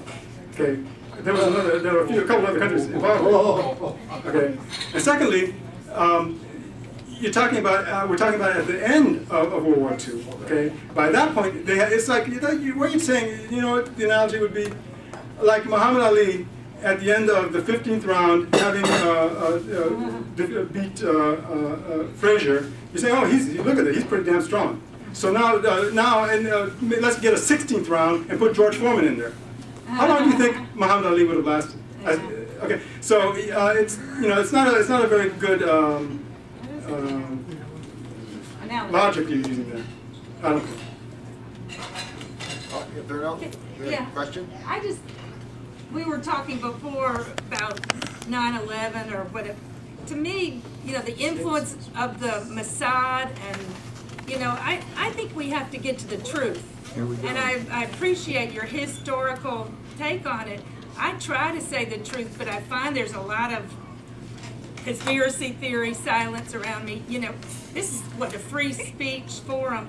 How, how, you know, I just think we should have the right to a history version that you know, this isn't in the history books. And I read somewhere that University of Chicago put in Rockefeller put into here's the curriculum. We're going to say, you know, the um, the world evolves and democracy in America and and you know leave everything out like a revisionist history thing. And I, I was saying I've read about revisionist Zionism as this that within Israel they were they're they're perpetrating Okay. imperial Uh, do you have- do you dynamics, but I, you get specifically- silent. Specifically, a a question? A s- qu- quest- Yeah, so I just want your comment on that. Uh, well, um, I've, I've said before, um, at other, in other times, that uh, we have to kind of educate ourselves um, because uh, the, the, the major media, okay, the corporate media, is completely useless. Um, the a- academia is, is, is, is to a large degree useless. Uh, we have to um, trust ourselves our, and our own investigations as well, using logic, using basic science, basic physics. For instance, when you study 9/11, okay, anybody can uh, learn, or most people can learn the necessary uh, physics uh, that explains how, without question, uh, it was uh, a false flag operation. Uh, there were hoaxes, okay, involved. Um, but so we have to teach ourselves, and then we have to speak, uh, talk among ourselves, commu- communicate among ourselves. And thank God we have the internet, uh, at least uh, at least so far. Over here. Okay, Do we know who did it? 9/11? Um, more or less, but that might be that might be a, a, another Go topic. Come on. all right, let's move on. Go ahead. Cheney? Well, well, well, well, Oh, yeah, right.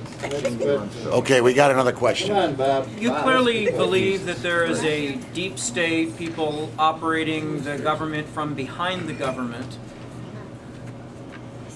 Do you believe that it came into being by a prospective design or improvisationally over a period of generations? Good question. Um, well, it's kind of it's kind of uh, there, there are two ways of looking at that, um, at this.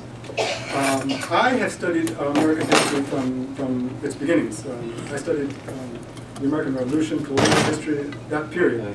And as far as I'm concerned, uh, the founding of the Constitution was where we went wrong uh, from the very beginning, um, because uh, you have a structure of government where uh, you have people can only vote for individuals to put into this into office, and then they have more control over them. Who controls them? Uh, other people do and can control them, and that's the uh, that's where the um, the outside um, or, or the unseen quote unquote unseen. It's not really unseen, but let's say the unseen power comes, comes into play. Look at um, um, uh, the you know the Koch brothers, for instance. They, they literally have meetings with uh, uh, with um, um, uh, candidates for office, the, for the Republican uh, uh, uh, high office, like presidents. Okay, they sit these guys down and and, and like like like a, like a king with his with it, with, it, with their vassals, with his, his vassals.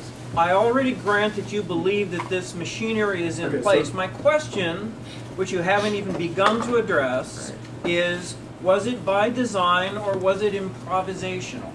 Okay, uh, I answered. I thought I was answering the first part, which is that it was by design the formation of the U.S. Constitution. Okay. That's not what you said. You said it allows. Yeah, but it was deliberate.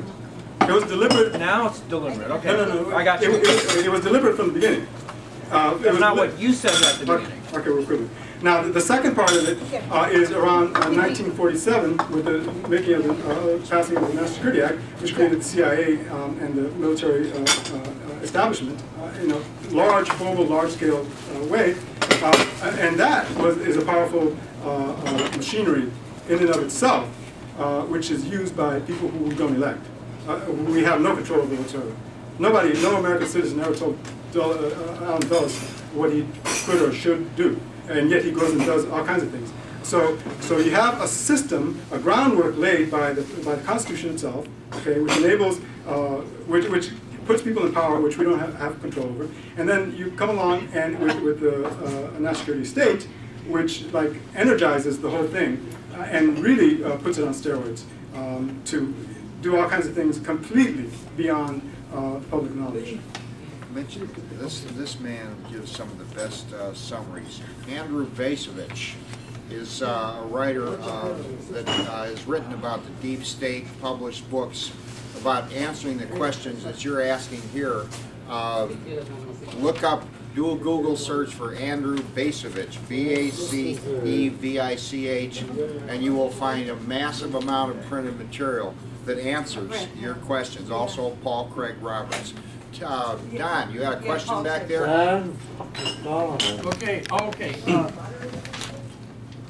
Listen, I just wanted to, Ted, you uh, said that the Soviet Union was not expansionist from after, from the time of Stalin. Uh, Well, what about, what about the Comintern? I mean, What do you, I mean? The what? Well, the Comintern? Comintern, Oh, the yeah, yeah, Communist okay. International, Right, right, right, because they, well, in, they supported communist parties all over the world. Every, you know, Right. in, in, Yeah. including in, in, in most countries in, in the Western Hemisphere. Uh, and, and, and they were backed up and supported by the Soviet Union, and they took their orders from Moscow. And, uh, they, for example, and, and the Soviets, by the way, during Stalin's time, they, uh, supported, they supported communist guerrillas all over Southeast Asia, not just in Vietnam. Communist guerrillas, guerrillas. And so, um, so, so Okay, okay. you don't consider that, but, and, and so, and these guys were, you know, were working for the Soviet You don't consider that expansionist? How many, no, because how many countries did the Soviet Union, outside of Eastern Europe, how many countries did the US, uh, So- Soviet Union rather, uh, invade? Done, How many? yeah. How many, uh, in, in how many countries did you find uh, That's a the loaded- Soviet- uh, hundreds of, tens of thousands of Okay. Soviet troops landing on the frigging beach and, and, and, and, and plowing their way with tanks and, uh, and, and, and uh, fighter jets and bombers into another country? When, when did that happen? All right, that's, it's a, okay, it's a loaded question. I'm not talking about Crimea? armed invasion by the Soviets. although That they did do is, it. that is, that is what aggression is. That is what international aggression is. Okay, People, so- uh, parties, political parties, okay, support each other all over the place. Okay, right. there are there are liberal uh, parties in the United States that support liberal parties in, in, in uh, everywhere else, in, in, in Germany, in Uruguay, in, in Zaire. Okay, uh, there you there monies flow all over the world. Uh, people send money to. Um, uh, guerrillas or whoever all over the place. Okay, that goes that goes on uh, constantly on, on in, throughout the spectrum. Uh, but Zaire does not go uh, with an army and invade Poland, okay, or, or, or Australia. All right, the United States, uh, for more or less, is the only freaking country in the world that literally, physically, with a, a huge military machine, invades and uh, fights other countries in outside, completely outside of their own country, uh, overseas and everywhere else. Okay, what about, what about the Russian invasion of Afghanistan? Uh, all right. Um, first of all, Czechoslovakia. Or Czechoslovakia? Uh, first of all- first of all- Or, or, or Hungary and yeah, yeah. Um, can I answer your question? Sure. First of all, those are bordering countries. Number one. Okay. And uh, I already, we already went through uh, uh, the Eastern European uh, uh, uh, part of it. Okay. So you have one exception, Afghanistan, which it which borders uh, the Soviet Union. Okay. Uh, the U.S. The U.S. on the on the, the other hand, literally goes around the world. Okay. Uh, doing uh, it's doing business with, with huge military. There's there's not much of a comparison there, Don. Oh, well, actually. Do, do you really No, no, think? no, do you hold on. really think there's an Okay, equivalence? Okay, guys, we gotta, matter of fact, Bill, uh, it's, it's about time to go to rebuttal. Yeah. I want, Okay. wait, wait, Done one, with one, one last thing. One last thing to, to answer. One last thing to answer your question. Uh, The U.S. Uh, alone, okay, was doing these kinds of things from the very, very beginning of the Cold War, from 1945 on. Okay? Oh, I know, that's, that was my point, that, that we were doing the same, that the Soviets were doing the same thing as No, us. no, no, no. I, you didn't. You didn't hear me. I said this. U.S. at the, at, the beginning, 1945, 1940, uh, 50, 1960. The, the U.S. alone was doing the kind of uh, invasions and all that. Uh, the, the Soviet Union was rea- constantly reacting to the to the U.S. aggressions. Okay, so the, finally, the U.S. Uh, the Soviet Union might get into the ring. Okay, but it's the United States of America that is in the ring uh, first and even creates the ring and then makes enemies, and then people have to react to that. So the aggression starts with the United States. It started with the United States in 1947. Just first, take the hydrogen bomb. The United States made the hydrogen bomb. What do you think the Soviet Union is going to do? Sit there and say, "Oh well, okay, you can have the hydrogen bomb. We want, we're not going to develop a hydrogen bomb." It's a reaction versus uh, uh, initial aggression. Okay, got that? Yeah, well, we didn't, we didn't use hydrogen bomb. Okay, All right, all right. Okay, I have a question. All right, let's, I uh, have Let's go to question. rebuttals. Okay, I have, I'm from Russia. Can I ask you one This is question? getting out of hand. If I may. So then, oh, no, no, no, I don't want to be on camera. Please, Tim, I don't want to be on Okay, camera. okay, So okay. listen, uh, very brief. No, it's okay. So listen, how come we heard even in school when we studied after World War II, Americans rescue Russian army. They send them so much this um, uh, canned food, Yeah. you know, and, and bread and blah blah blah. So uh, America helped Russian soldiers, Yeah? you know, during the war. Right, right, right. They, they were allies. They were allies. They, they helped each other. Yes. In the Right. war. Right. Yeah, in the war. Right. Even after war. Okay, that, that's it for the questions, people. Okay, we We're gotta- running late on time. Now, who wants to give a rebuttal? Give- Let's give our speaker a big hand. okay, let's, uh, Yeah, you get in line. thanks. How about one more, how about one more round of applause for Ted tonight, please? I think he did a nice job. I think he did a nice with, with everything else. Okay, let's have a show of hands here. Who wants to give a rebuttal? And keep your hands up so we can count, so we won't have five extra people coming up here at the quarter to nine. No, we're gonna be, off uh, tonight Get out of here. Okay, Two hands. Don, I'm just, Two. just joking. who's back there? You Keep your hands up, please. Three, four, five, six, seven, eight, and nine quick. So there's nine people, Got about 30 minutes. Three minutes apiece. Three minutes. Three minutes apiece, and we're gonna watch the time, because we got, we can't drag on till nine o'clock tonight. It's, it's five after eight right now. Don't totally disagree with you. Good evening. Uh, Good evening. I was uh, under the impression that this talk tonight was about, uh, was that there was never really a Cold War. Uh, I suppose that didn't apply to uh, the Cuban crisis in uh, the early 60s. And I suppose that didn't apply when Russia went in and took Hungary with tanks, uh, or when they took Poland, or any of about a dozen other countries. They, none of this ever constituted any real Cold War. Uh, I want to say that uh, Korea is going to take over the United States. Which Korea? Uh, yes, Korea is going to take over the United States, and they're going to do it with Korean restaurants. Uh, that is, if the Mexicans don't do it first. Good night. You can put sense of humor. Twenty minutes? Three minutes, all right. Oh, we can say three I like the sense of humor. Let's get in. Thanks, Ted, for an excellent talk. Um, One of the interesting aspects of your talk is when you said uh, the United States empire was picking up where the British Empire uh, left off. And it brings to mind three of the most prominent voices of the last century on the airwaves that influenced millions of people uh, both in Europe and the United States, and that was Edward R. Murrow, Charlie Chaplin, and John Lennon. Uh, what do those three people have in common to uh, your mind? Just quickly say, what do you think all three of those people have in common? We lived in England. They play guitar. Investigated by the FBI. They were either official or unofficial enemies of the state according to the surveillance apparatus because they were so-called subversives. What did Edward R. Murrow do in his uh, career that was so subversive? Well, he was telling people about how uh, powerful militaries and nations need to watch their military spending to not become imperialist monsters. They, they need to check themselves. And how do they check themselves? Have congressional checks on a regular basis with honest inquiry. As Ted just said, these agencies that he talked about today have no congressional checks. They're above the law. Uh, in Charlie Chaplin's case, he talked about how, uh, you know, in very simple comedy and satire terms, how a bully operates. It's just how the United States military, the United States government operates. Oddly enough, that's the opposite of how the people operate.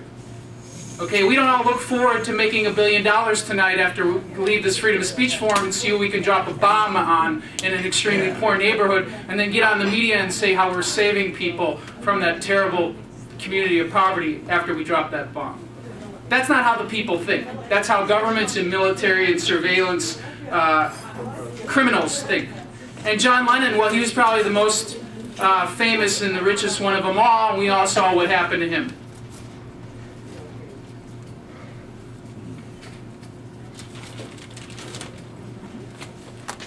Uh, I got half a minute left, so let's read Howard Zinn. I got Chomsky too, but I'll read Howard Zinn. The effect of that will be the exact opposite of what our political leaders of both parties claim they intend to achieve, a victory over terrorism. When you inflame the anger of an entire population, you have enlarged the breeding ground for terrorism. What of the other longer term effects of continued occupation? I'm thinking of the poisoning of the moral fiber of our soldiers, being forced to kill, maim, imprison innocent people, becoming the pawns of an imperial power that they were deceived into believing they were fighting for freedom, democracy against tyranny.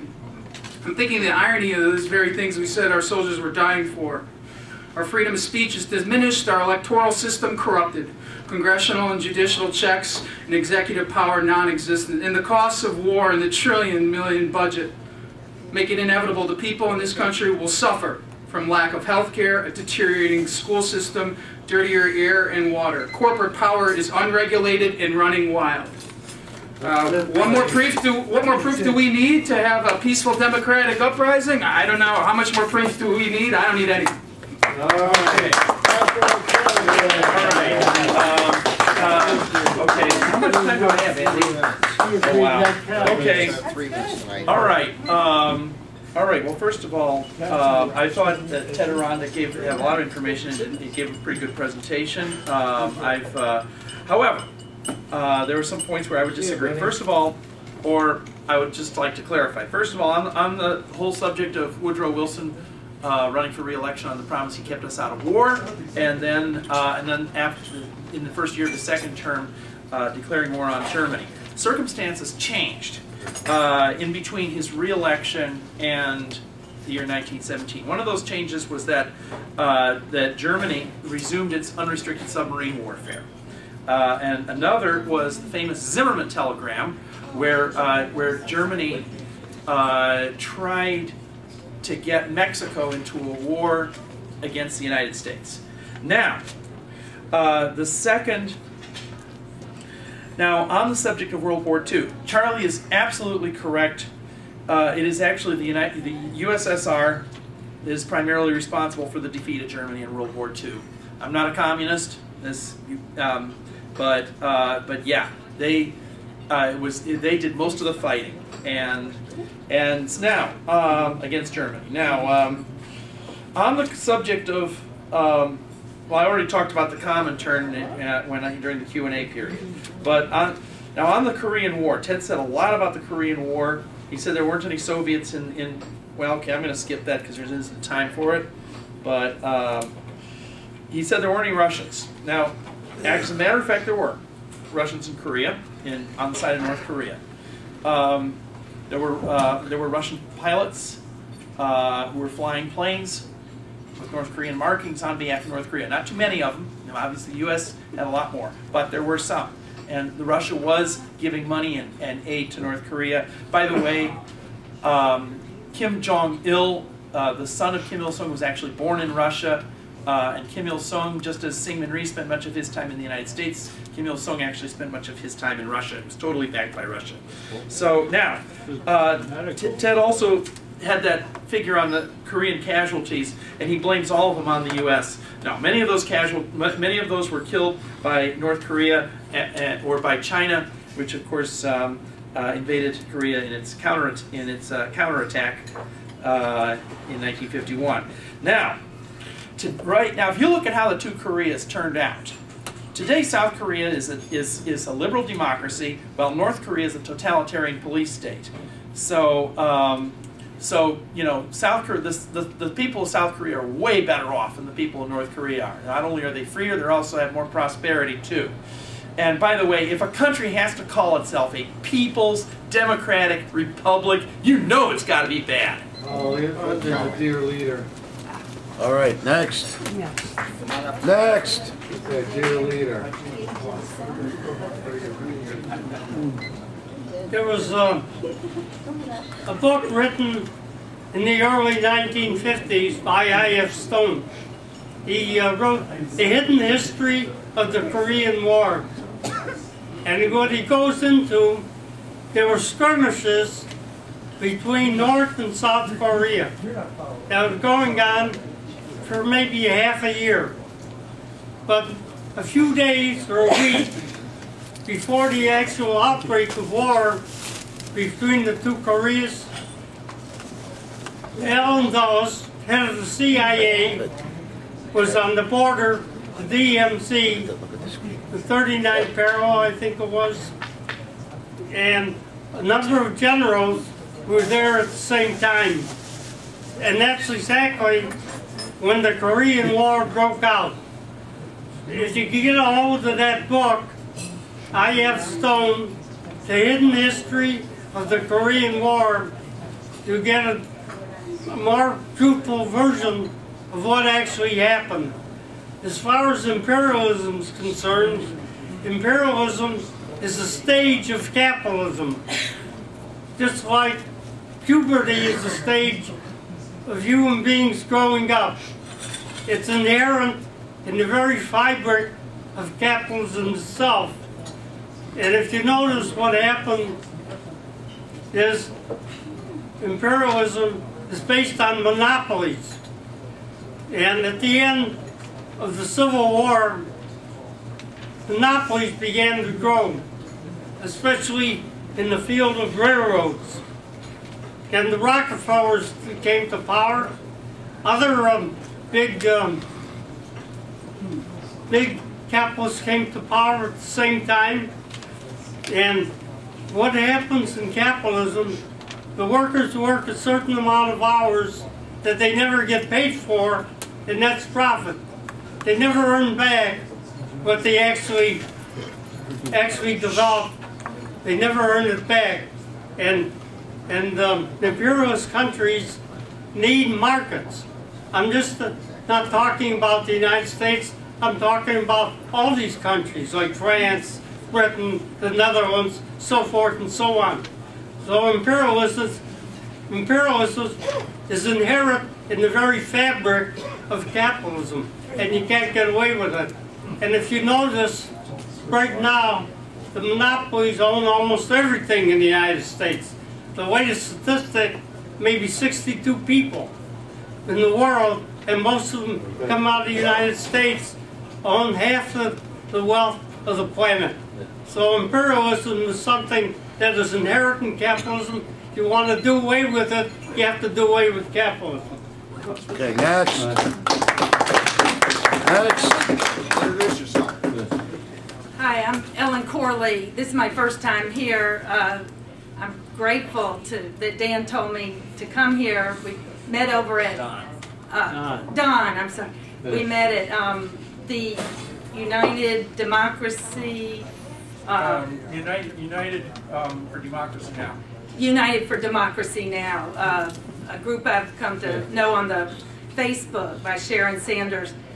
I, uh, five years ago, started researching this subject because my stepfather, chairman of Capital, Oppenheimer Capital, member of Mount Pelerin, and all these clubs uh, that he mentioned, uh, got pretty much pulled into uh, financing the Trump campaign, and I got the feeling of like what I saw in the Winds of War, of the Jewish family who they said, "Oh, do you want this person's house?" This Tea Party woman ran for lieutenant governor, took his look, took our house, and I got nothing. Uh, so I, but I started to understand uh, the other side. I had been brainwashed to be a right wing Republican. I could never win the argument, you know, and what was going on in Vietnam. It was all lies, you know, um, oh, they'd slaughter them. So I am I'm so grateful to have learned the truth from you and uh, people like, you know, the Untold History of the United States, um, Oliver Stone, and Peter Dale Scott. I'm a friend with now on Facebook, and um, Mark Crispin Miller, and uh, recently Saeed uh, Ahmed or Muhammad Ahmed. Um, you know, and it's it's great that we are getting the truth because that's going to set us free. Uh, you know, this they shouldn't have the right to lie to us like this, and it does go back to the Dulles brothers. Uh, that Allen Dulles, uh, read the book, um, The Brothers, there's two of them, but when they said John Foster Dulles cried when Hitler died, uh, you know, I just, really, you know, and it, uh, two people I look at are Reinhard Gehlen was Hitler's head of intelligence, worked carefully with Dulles, and was the one who arranged the overthrow of Iran and um, you know, Casey, and they all worked together as a. It was Hitler's intelligence war on Russia. You know, then I mean they went to South America, torture chambers, false flag operations.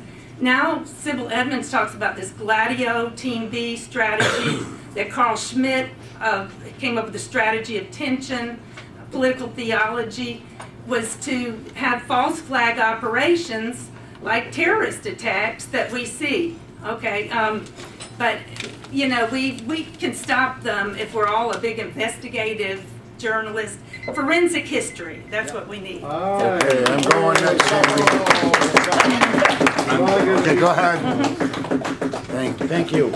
All right. All right, we're ready? Three minutes, my friend. Demanding answers. I came here tonight fully prepared to grant the thesis that I read on the website. I was interested in getting some more information about the topic. However, as in previous speeches by the same speaker, I was given a bait and switch. It wasn't about the Cold War and it wasn't about the transition to the Cold, from the Cold War to the war against terror. Rather, it was a discussion of all the events leading up to the 1950s and then a, a large section on the Korean War, which was a hot war. So he began the speech by dismissing the existence of the Cold War without even defining it, but that was the whole point of the speech I had been led to believe that the Cold War was an ideological war between the so-called liberal democratic West and the communist and socialist um, Soviet Union. And the principal way that we knew that we had won that war was when the Soviet Union collapsed in 1989. Is that the right year?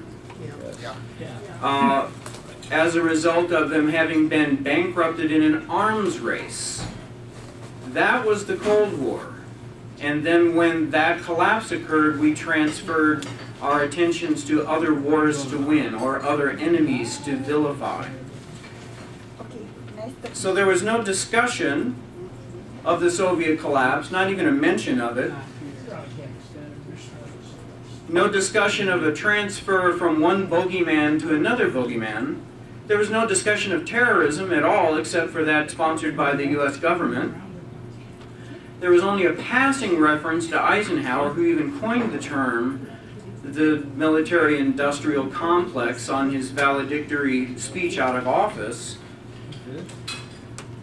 And I thought that the entire speech misidentified the, the basic dynamic driving the whole thing, which is, as our previous rebutter uh, said, is capitalism. So capitalism lies behind all of it, and colonialism is the mechanism through which capitalism gained uh, control over resources abroad.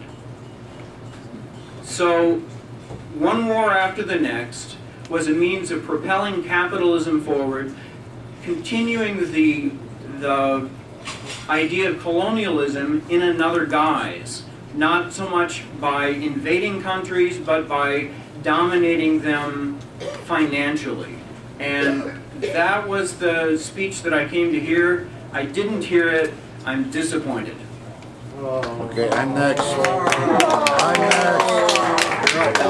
next. You going next, Ellen? Yeah. Give them the three. All right, three minutes. Three minutes. Hello, hi, my name is Ellen. Um, I'm just gonna make some brief comments because I've had a long day today at work.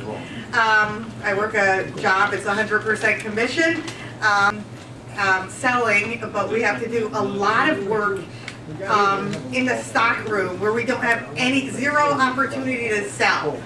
Um, so it's an extremely exploitative job, and that's the kind of things that are going on in the work world today.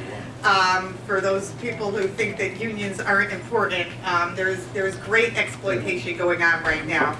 Um, but anyway, um, that's not really what I want to talk about. I just want to mention that. Um, you know, it was a stressful week for me, in, in part because of the vote about the Affordable Health Care Act.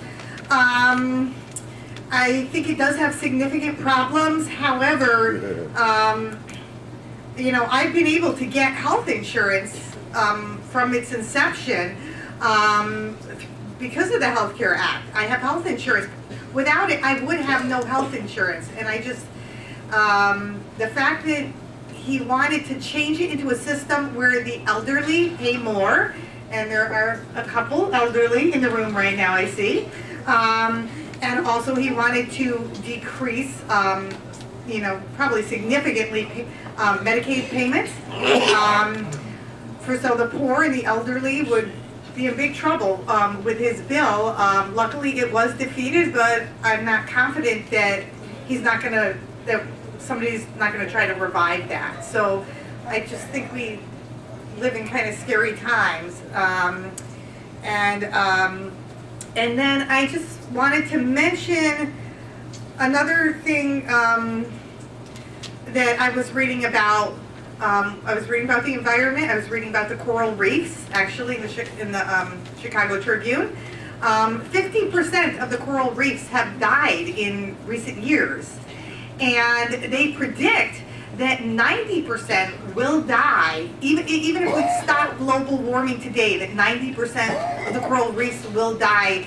Um, the coral reefs, I think, support about a quarter of marine life. So this is a very serious situation. Um, you know, there's an interconnected web of all these living things, and I just feel like we're playing Russian roulette with the, with our environment. Um, and unfortunately, we have a president um, in the White House, and we have um, the Republicans in the White House who don't care about the environment and you know try to con people into believing that global warming doesn't exist. Um, it's a disturbing um, fact. Um, and let's see, and now now it's coming up for the budget, so that that'll be another issue. Okay, thank you. Okay, I go next. I go next. I go next. All right, get up here then. I got nothing to say. Oh, yes, I do, because, because I believe that globalization and capitalism have been the best damn thing that's ever happened to this planet. Why? Because it- the system has provided jobs, it's provided more goods and services on a per capita basis since, for the, for the last three hundred years. Many of the countries in Africa and Asia are screaming to want to get developed. And I think that would be the best way forward for everybody concerned. Sweatshop. Not, unless it's Charlie. The thing that you have to understand about true globalization is that it's finally getting to these underdeveloped or developing countries. They're finally getting their chance to have their slice of the world or what we say economic pie. Yes, they're low-wage countries right now, but that means investment capital flows in. Those type of jobs that they get at those sweatshops are generally much better than what you'd see in the peasants' fields. Now, why should America be concerned? Why should America be involved? Well, you know, if we are not, others will step in. And I don't think we would like some of those other actors. For example, just in the last year alone, a little known fact about a freight car coming from Shenzhen, China to the east coast of France in less than a week bespeaks the way the world has changed. The one belt, one road policy that China is doing right now where it says, hey, if the United States is not going to be in the region, we will, and we will also trade. So the United States' greatest export right now is security around the world. Keep the sea lanes open, keep the goods and capital flowing is probably the best damn strategy we've ever had. Now, when Trump talks about curtailing free trade, putting up tariffs, that's exactly what happened in the 1920s, which is a precursor to the Great Depression. Now, maybe I might not know enough about the conspiracy theories like Ted does, but I do know numbers. We have seen more people benefit through globalization and free trade than any other scheme of communism or anything else. If you look at the numbers, yes, in the United States we were poor, but we went to the poorhouse in cars.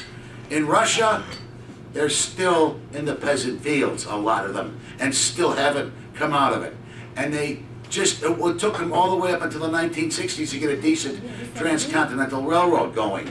But at the same time, if Russia could trade a lot more openly, rejoin the world, watch how fast they would prosper. They're a vast country of resources.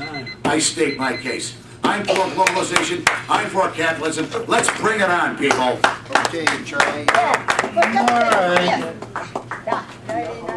Alright, uh, where's Ted? Thank you very much, Ted. Here he is, very good, thank you very much. All right. I'll be eclectic as usual. By the way, uh, the, the Soviet Transcon was built around nineteen hundred. The Trans-Siberian Railroad, longest railroad on earth. It was only 15 miles an hour, built wasn't, tri- wasn't triple you know, tracked until the the 60s, si- Charlie. The only railroad that was built under the private sector, the capitalism, uh, get this, was the railroad from the Tsar's winter palace to his summer palace. That was the only railroad in Russia.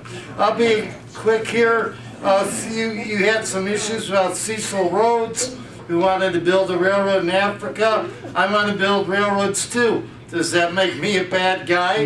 I'm the CEO of a You're a railroad. capitalist, Charlie. New York and Chicago Railroad. Uh, nothing wrong with that. Um, let's see, regarding uh, the military, uh, if there was one battle that was a turning point of World War II, sometimes it's Stalingrad, generally the Battle of Kursk, in which the German and the Russian armies hit out upon each other. The Germans threw everything they had. They had these Tiger tanks, the Blitzkrieg tanks, and they were defeated by the might of the Russian army. Not only were they defeated, they were pushed all the way back to Berlin, which ended the war. They were, in fact, a military force to be reckoned with.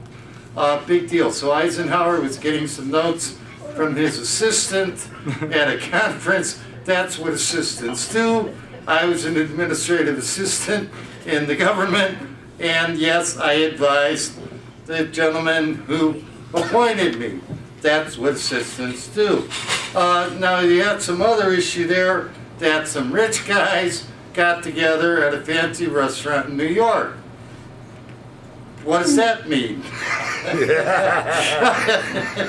so they can afford to go to nice restaurants in New York. Now you're also saying some guys in international finance belong to associations.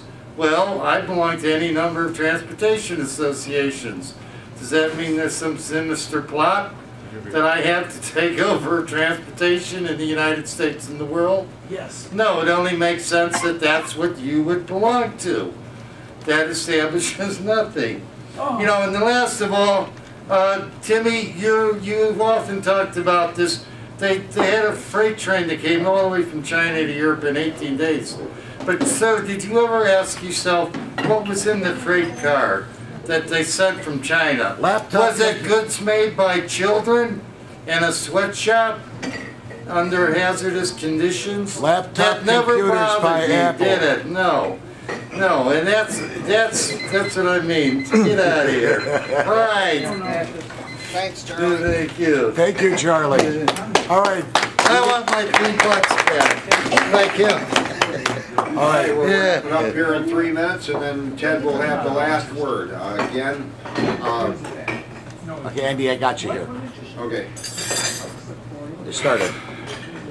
As you can see from Ted's uh, presentation tonight, there's an enormous amount of information to convey that is not in our general history books, uh, not widely known by most Americans.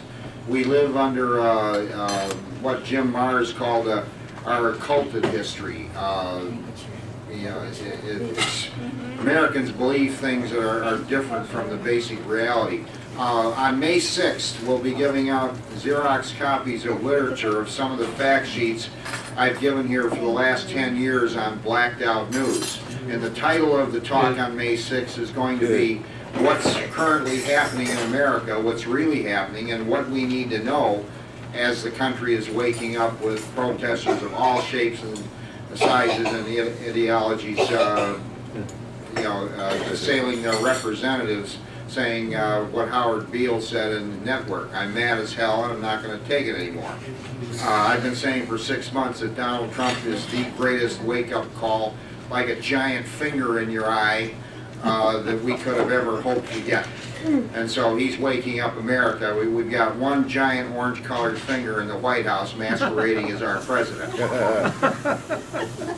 A few observations. Um, an old Indian saying, uh, when you're riding a dead horse, you have to get up and change horses. Well, they rode the dead horse all the way to 1989 when the Soviet Union uh, took down the Berlin Wall and they couldn't ride that horse anymore. So all of a sudden, we had two days of a peace dividend and all, we gotta go invade Iraq with uh, George H.W. Bush. So uh, then all of a sudden, we started hearing about Osama bin Laden. Well, uh, they rode that horse uh, as long as they could. George W. Bush rode the Bin Laden Express for uh, eight solid years, and then uh, Barack Obama had to fire up the Bin Laden Express again and ride that to his reelection in 2012 because make himself look like a war hero. The idea that we were attacked by Bin Laden is known to be a total myth worldwide. No. Albert Einstein had a quote, uh, he had several good ones, but one of my favorites by him is, the human race is in a race between education and extinction, and I'm not sure which side is winning. Also, Albert said, remember your humanity and forget the rest. Jim Marrs, the investigative reporter, published a book just a few years back called The Rise of the Fourth Reich. It's here. The descendants of Nazis have coalesced back into America, and they're trying to, what we call the neocons and the people that gave us 9/11, they're trying to turn America into the Fourth Reich. So we'll talk more about this on May 6th. Uh, Mark it on your calendar for a good night. Thank you. Okay, Ted, you get the last word. You get the last word, Ted. Remember, we gotta be out of here in less than seven, six to seven minutes, okay? Five minutes. Yeah, sure, sure. Try try to keep, we'll, we'll, we'll, we'll give you a clock. Conspiracy in the college. Okay, uh, well, I'll thanks give for, you, I'll your- give you some, a time clock. thanks for your comments, everybody. Um, let me start with, uh, okay, somebody uh, mentioned Gladio, and uh, a couple people mentioned false flags. Uh, John mentioned agencies above the law. My uh, main uh, focus, or my main, my main theme, I think, is that the American people do not control uh, the American government. Uh, we don't have uh, control over um, policies, um, and many of these policies are we don't even know are, are occurring, um, right? Or actions, right? Uh, kind of underneath our noses, like uh, 9/11. Uh, anybody who studies that um, objectively and in any kind of depth will know without question that elements, uh, at least elements, um, who knows exactly who composed uh, the people that uh, perpetrated it, but elements within the United States government, Americans like Dick Cheney and whoever, okay, uh, planned the whole thing and killed um, 3,000 people roughly on 9/11. Uh, these kinds of things are done, and nothing is uh, there's no there are no consequences. Um, so we don't, and in the Cold War, this kind of thing was going on left and right. And I only got to uh, half of my talk today. Next time I'll talk about um, the, the supposed coup, uh, uh, rather the coup in Guatemala, in Iran, where the, the CIA is going and toppling governments and killing people and getting the native uh, inhabitants to kill people, et cetera, et cetera. So uh, these things are going on, and we do not control that. That's the main. That's the uh, my main point. Um, right now, uh, and as another person, uh, Ellen mentioned, um, the Earth is being destroyed, and life on Earth is being destroyed, and it's just. And certain people are responsible. First of all, we don't have overall control, and then certain in, uh, people are also uh, working on pretty much destroying the world. And this is why I'm really getting uh, into studying chemtrails and, and the, uh, the alleged geoengineering of the Earth, uh, which, and that's probably not the actual uh, ultimate motive and purpose. And this is a big, big super deal. I mean, if we don't have life on Earth, if we don't have an Earth, you know, we don't have anything, right? Um, so we have to get control, and so that gets back to my uh, main uh, purpose in all of the studies that I've done, in all of my political activism, which is to make a democracy in this country. If we don't do that, and if we don't understand that that's what we have to do, and we, if we don't figure out how to do it, uh, we are dead sheep. Um, Carl Rockefeller, they, uh, excuse me, uh, uh, John D. Rockefeller, the, the, the, the patriarch, once said to his, about his competitors, um, or to his competitors, whatever, I have ways of making money that you know nothing of. This guy had so much power, he was doing things left and right underneath the law, underneath uh, uh, the the, the, the government, uh, unknown to his competitors, amassing a fortune through all kinds of nefarious uh, um, uh, backhanded ways, et cetera, et cetera. And the government does the same, th- so that was in the economic realm. Uh, but the government does the same thing in the governmental realm. They do all kinds of things that we figure out, if we figure it out at all, decades later. We cannot have that.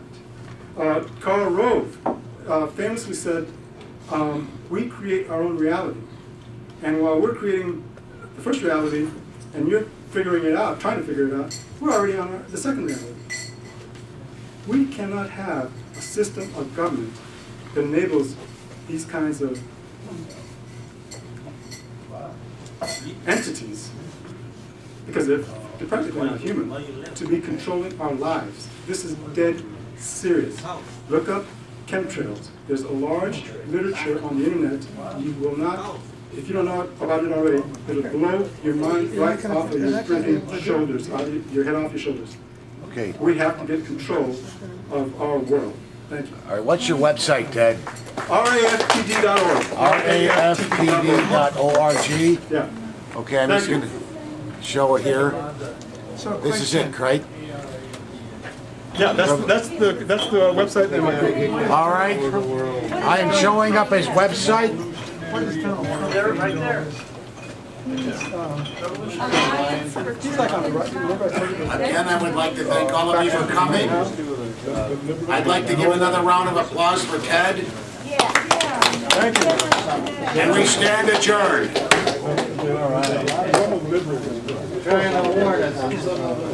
You're right. Yeah.